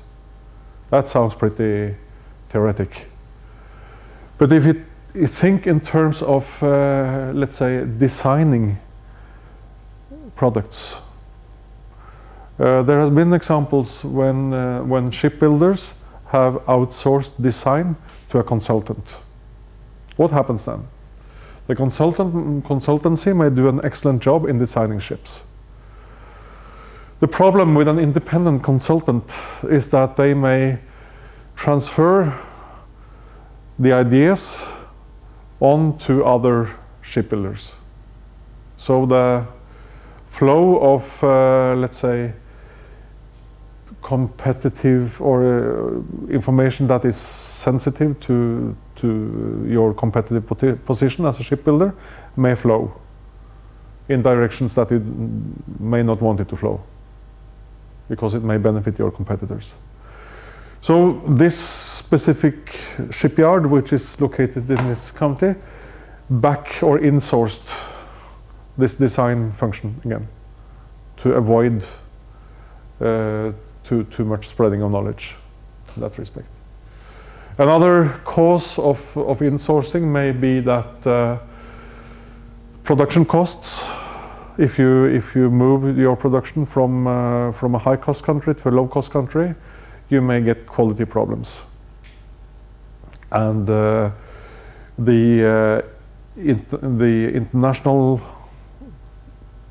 the, the theory of international economics may start to work giving an equilibrium between the high cost and the low cost country where wages are starting to creep up in the low cost country and perhaps they are starting to level out in the high cost country. Then it becomes less attractive to have the production outsourced. So there is a, there are a trend now. There is a trend now that uh, some types of production are are backsourced from, uh, from low-cost countries and back to the high-cost countries. It happens here, and it happens in the United States, and uh, probably in other countries as well. Actually, General Electric, a big uh, manufacturer of, uh, of uh, electric equipment for domestic use, dishwashers and uh, what, what have you, they are now starting production in or back sourcing production to the to the United States. Because they they gain better control. They may over the production process and they may use uh, new technologies in a more efficient way in their uh, let's say neighborhood the vicinity than they are able to do if, if the production facility is on the other side of the globe. That, of course, influences growth in international transportation. So this is a conceptual illustration of, uh, of a supply chain uh, where you have the, the raw material suppliers upstream on the left-hand side. You may have inter intermediate component manufacturers which buys the raw materials. They sell the intermediate components to the manufacturer, which may be the end product manufacturer. We call it often a focal firm in this supply chain where you have suppliers, you have suppliers, suppliers here, you have wholesalers on this side, and the end customers. Retailers and end customers in various, uh, let's say, levels depending on the on the specific supply chain. Uh, here, transport and storage activities comes into play when you're going to move something physically from one location to another. You need information planning activity integration across these players for reasons that I have, uh, have uh, talked a bit about already. I mentioned this example where when, when the retailers uh, is deciding to drop prices to increase sales, you need to have that aligned with I mean, it's uh, it's not a good thing to get uh, empty shelves because they these people haven't got the message that production is going to be increased. Um, this is uh, fairly simple, and uh, and of course uh, in in real life very complicated. Um, it's also worth noting that intermediate component manufacturers, for instance, they have their own supply chain where they are uh, where, where they are the focal firm. So we have actually a network at work here, where uh,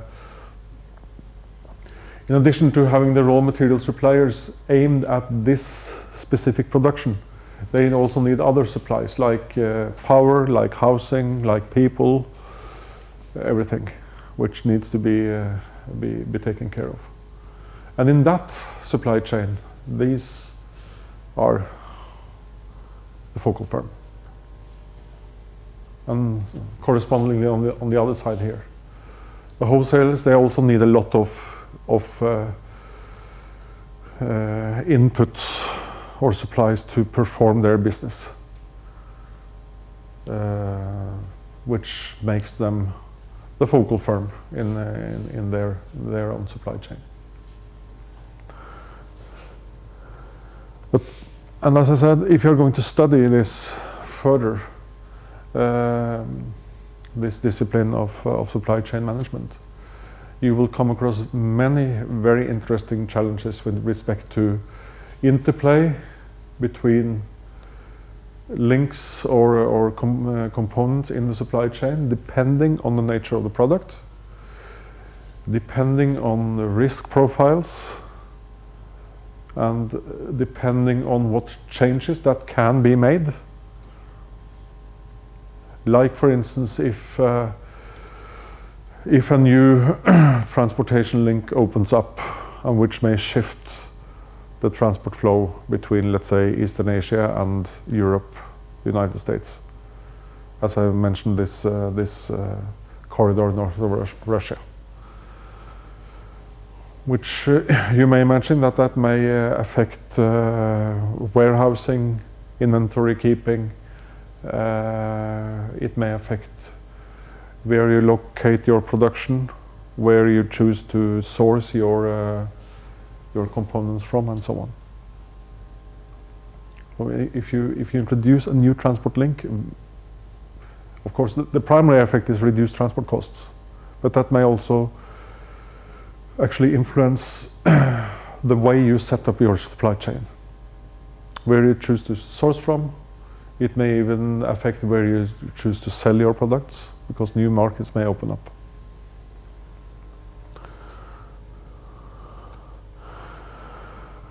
Yeah, this is uh, again a very uh, quite standardized uh, definition and it's a bit idealistic if you read it. I mean, uh, the effectiveness of the whole supply chain is more important than the effectiveness of each individual department.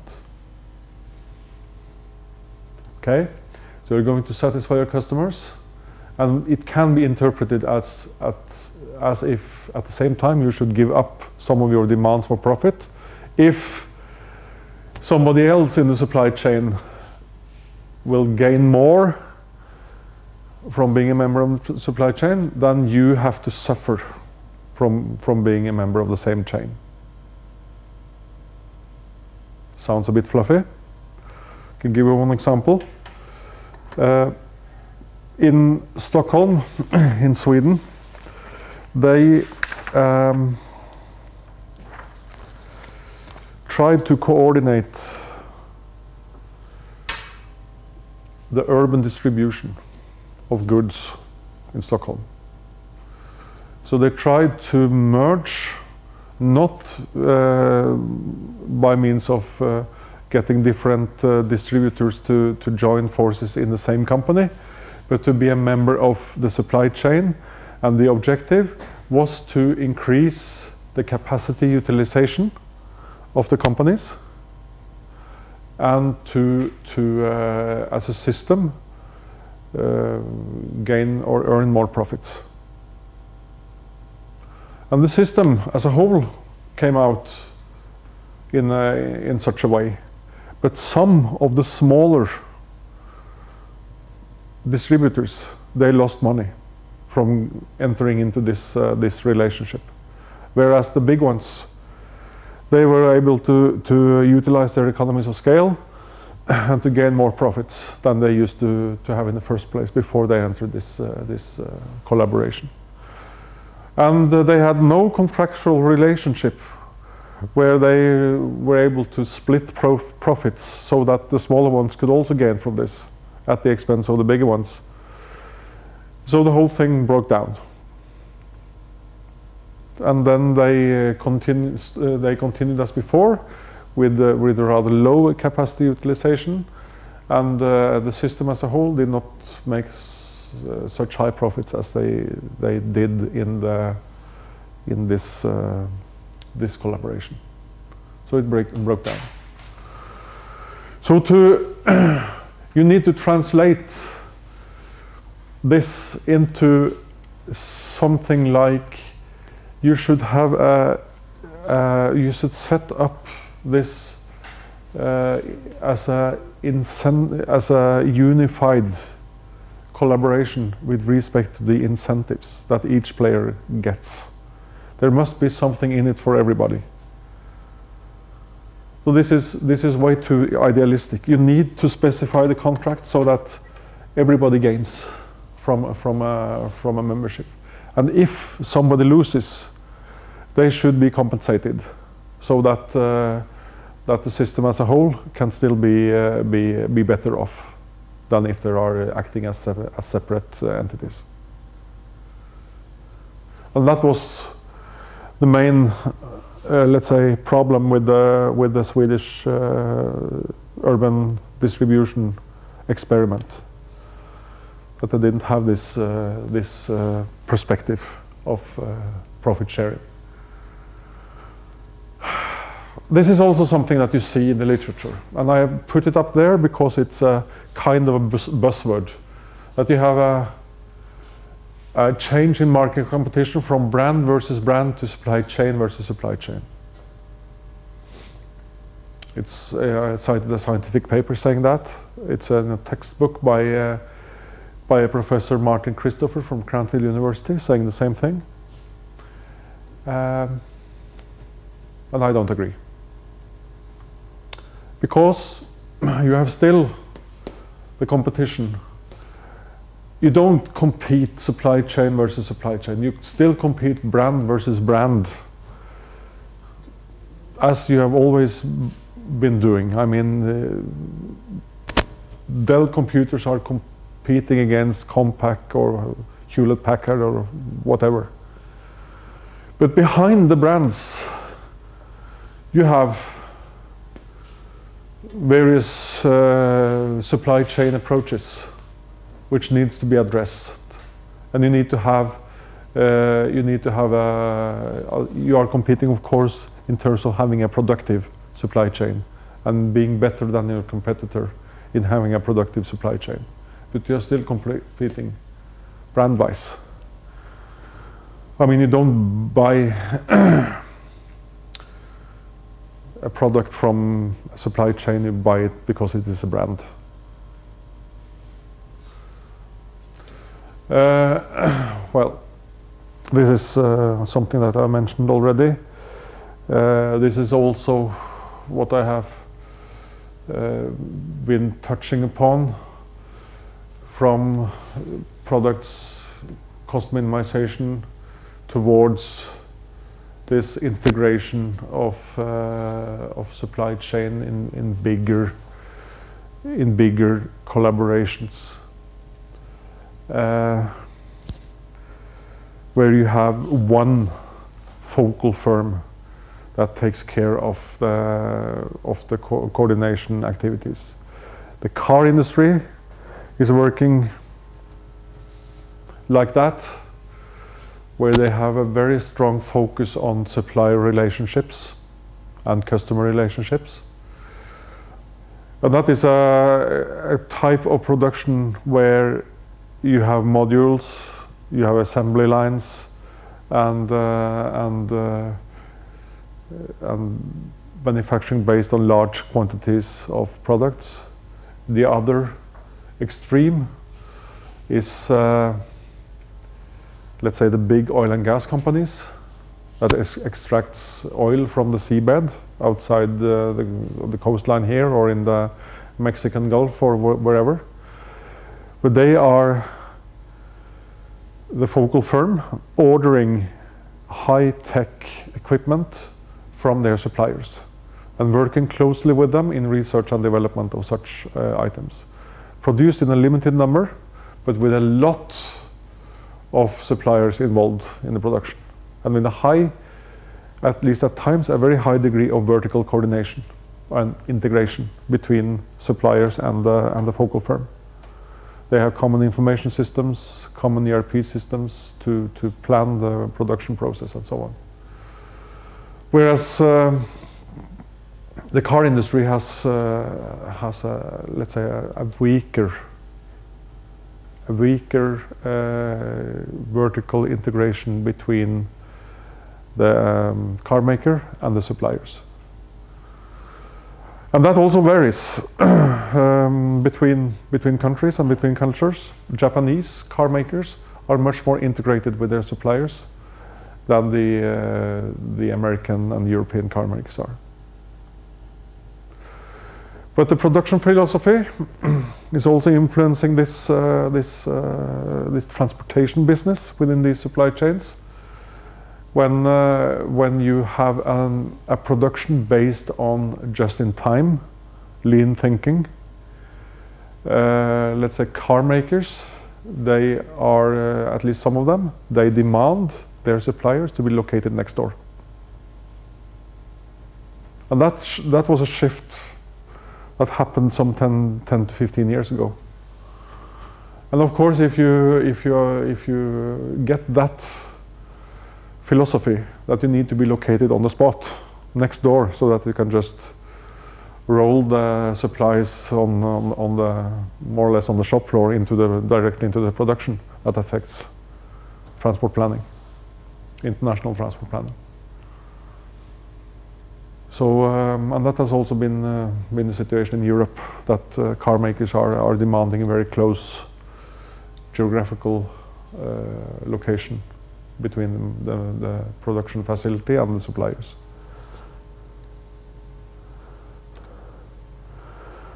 Yeah, changes in uh, supply chain management thinking. I've talked about outsourcing I talked about uh, the demand side here, the need for uh, for speed, flexibility, and and of course uh, competitive pricing. Um, this has allowed for new ways of, uh, of of collaborating.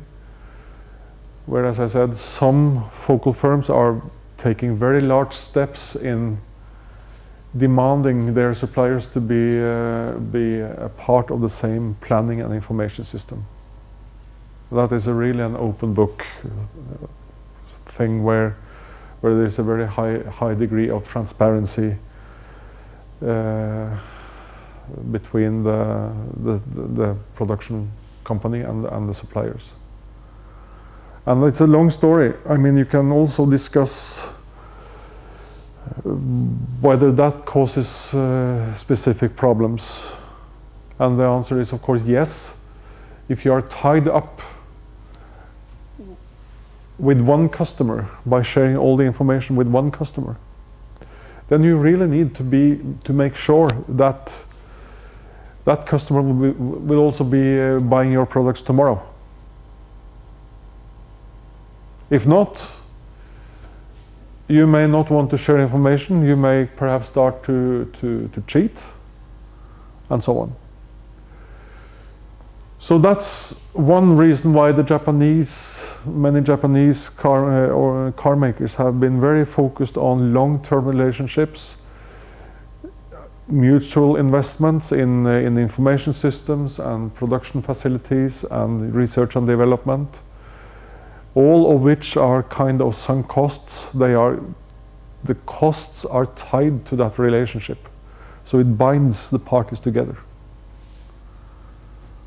And that is nice as long as the car maker makes money.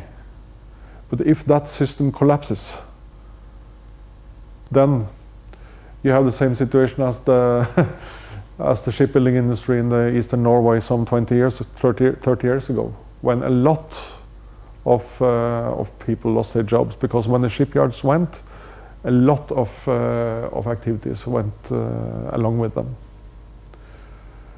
Whereas the Americans they have more focus on uh, on using the market, uh, using the competition in the market, and not working directly with their suppliers.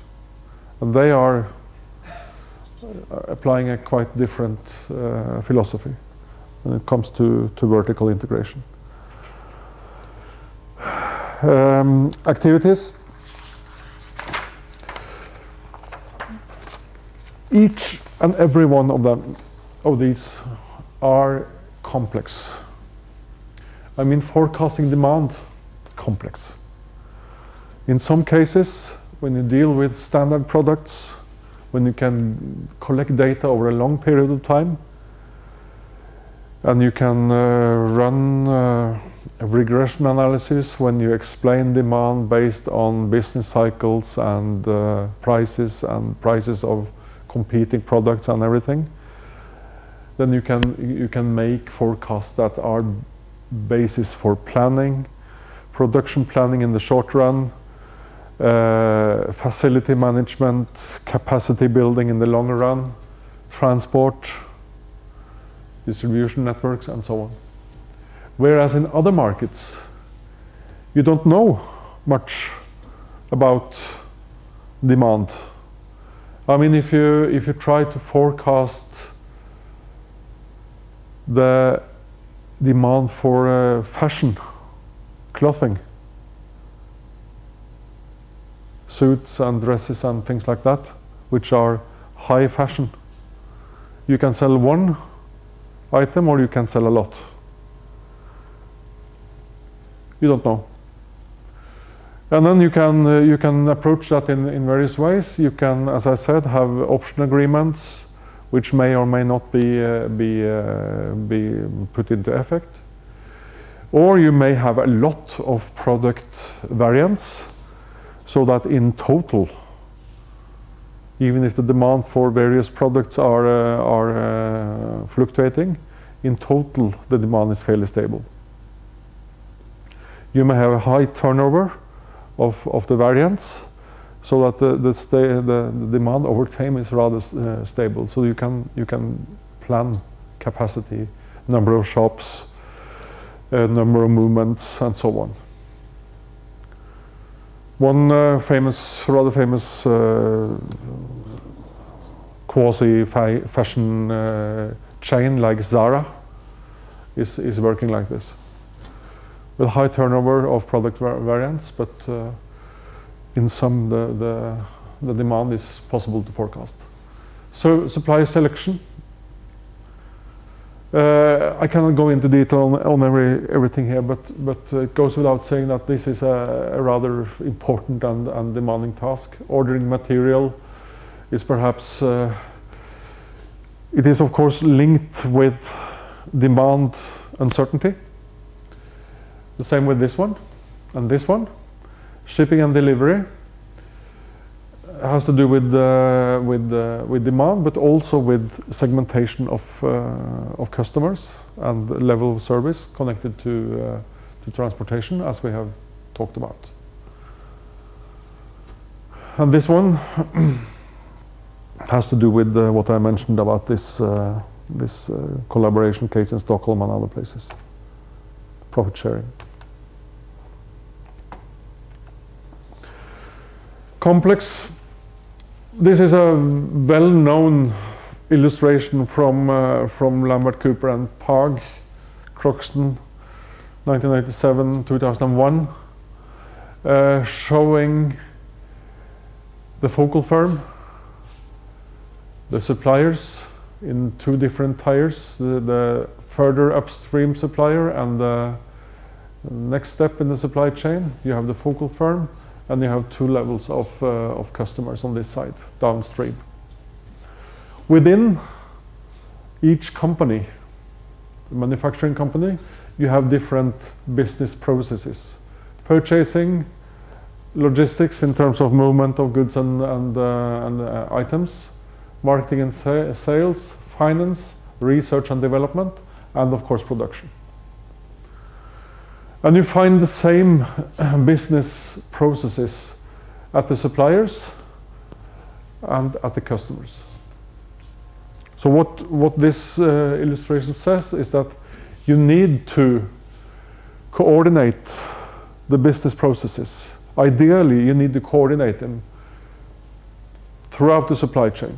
And these are some of the some of the functions that you need to coordinate customer relationships, service, demand management, where you can use prices to, to, uh, to influence demand.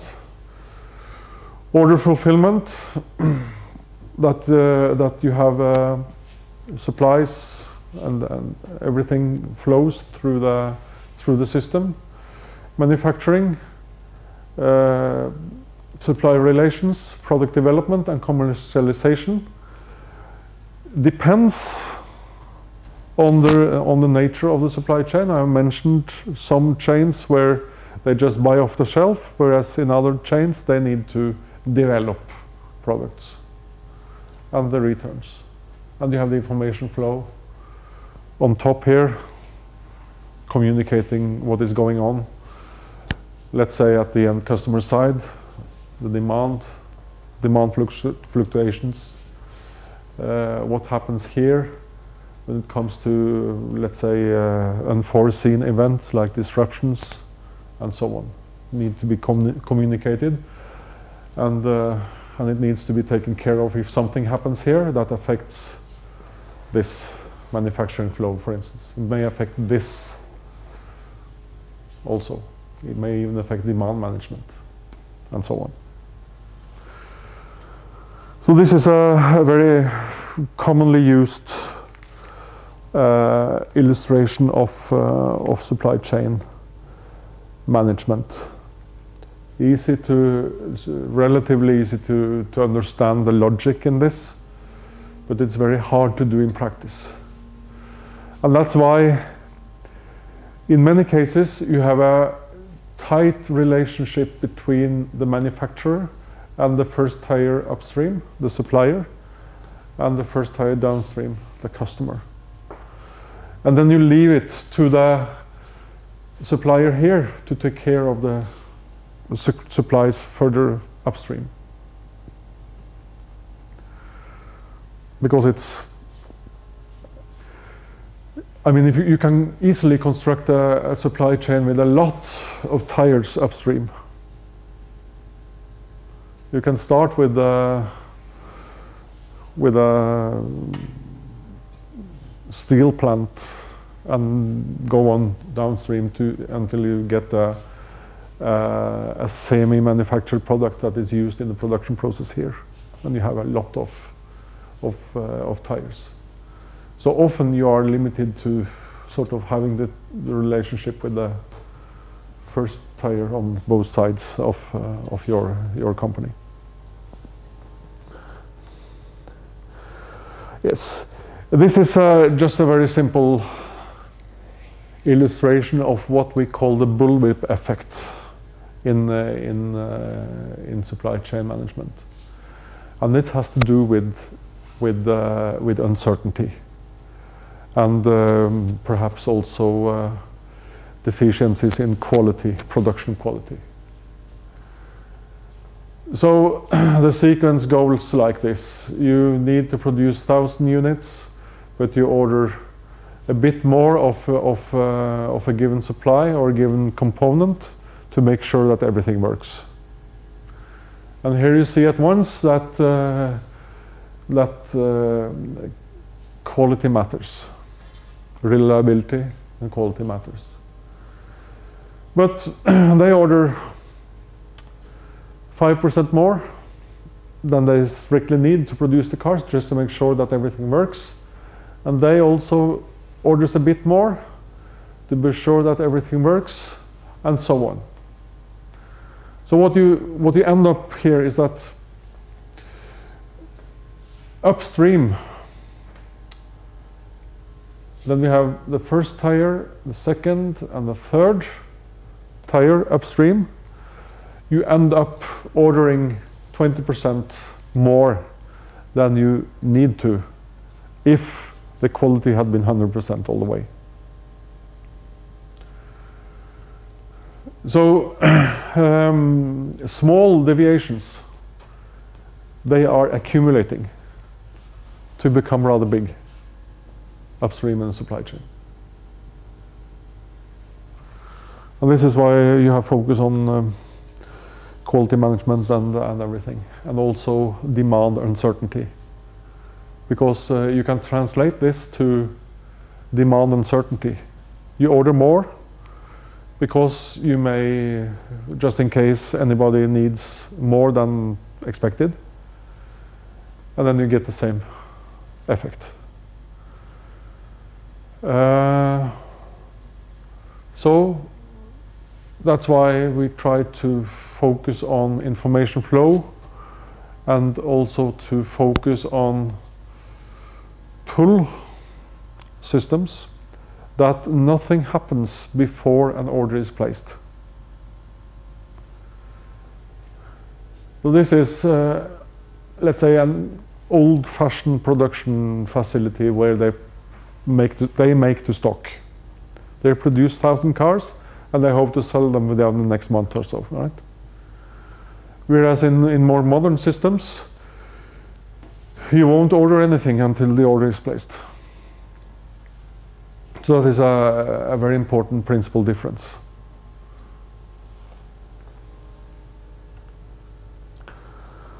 Yeah, this is uh, more or less said already. Um, I just want to mention one thing, and that is uh, that is connected to power power in the supply chain. Because uh, there may be uh, a build-up of power in certain uh, industries, like for instance in the in the food food retailers in uh, in uh, in countries like US and Norway and and the UK they have gained quite a lot of power over the manufacturers and wholesalers. So they can dictate more or less what kind of products, what kind of, uh, and then they are very, very hard on negotiating pri prices. And that may, may uh, cause some, uh, some issues. Uh, like for instance, a very limited product variety. You get the same everywhere and uh, and if they gain power, they can also use that market power to keep newcomers out of the market. because they get so big. They have a, such an economy of scale in their uh, in their uh, production. So uh, newcomers they are not necessarily able to to cope with that. Counteracting forces are uh, can be uh, mitigating this, like uh, like internet sales, and also uh, a general growth in wealth can also be a counteracting force. Because if people, I mean, product variety is what we call an income elastic phenomenon. If you earn more, if you get more wealthy, empirical evidence shows that you are demanding more sophisticated products. You want more fancy food, more fancy clothing, more fancy cars. And that is also a counteracting force towards market concentration. Because simply the willingness to pay for, uh, for uh, tailor-made products may pave the way for new, new products and new players in, uh, in, uh, in this market. I'm very worry, worried about the Norwegian retailer uh, business when it comes to, to food. I mean, if some of you are, uh, are perhaps from, from abroad and you may have seen the, well, if I compare with Italy or France, uh, I'm not too impressed about the variety of, uh, of brands and, uh, and food in, in Norwegian food stores. And that has a reason. Yeah. All right. Uh, this has been said. Uh, distribution trends. Um, talked about this, that there is a diversified picture when it comes to the level of service in, in, uh, in the transportation business. Uh, and it's important to be aware of the needs, the end customer needs for, for a differentiated uh, transportation service, the, the speed delivery and, and things like that. Uh, to to uh, to keep up the service level, and this is uh, something that we will spend more time on later on in the course. Network design to create distribution and network based on trade-offs between costs and the sophistication of the distribution system. Lower costs like the China in the case I mentioned when uh, when they tried to fill the container ships in uh, in China is one example of the trade-off between costs and level of service. Well, um, this is um, just a an example of how logistics costs connected to the transportation and distribution part of the supply chain has been categorized in transport, own transport and lease transport, loading and unloading, inbound, outbound, bound and internal. Please note that already in the heading there is a trade-off between own or leased transport. If you own your transport, you have um, you have to cope with capital costs, depreciation costs, and everything. If you lease, you have to pay, of course, for the both the capital and the depreciation and the uh, other operating costs, but you may gain flexibility. You may gain flexibility. So if you have a very fluctuating demand, leasing may be a very good strategy to to uh, to hedge against uh, uncertainty in in demand. Because if you own the vehicles yourself, you are also left with the risk. And the, and the trade-off there depends on the uncertainty and the risk premium that you have to pay.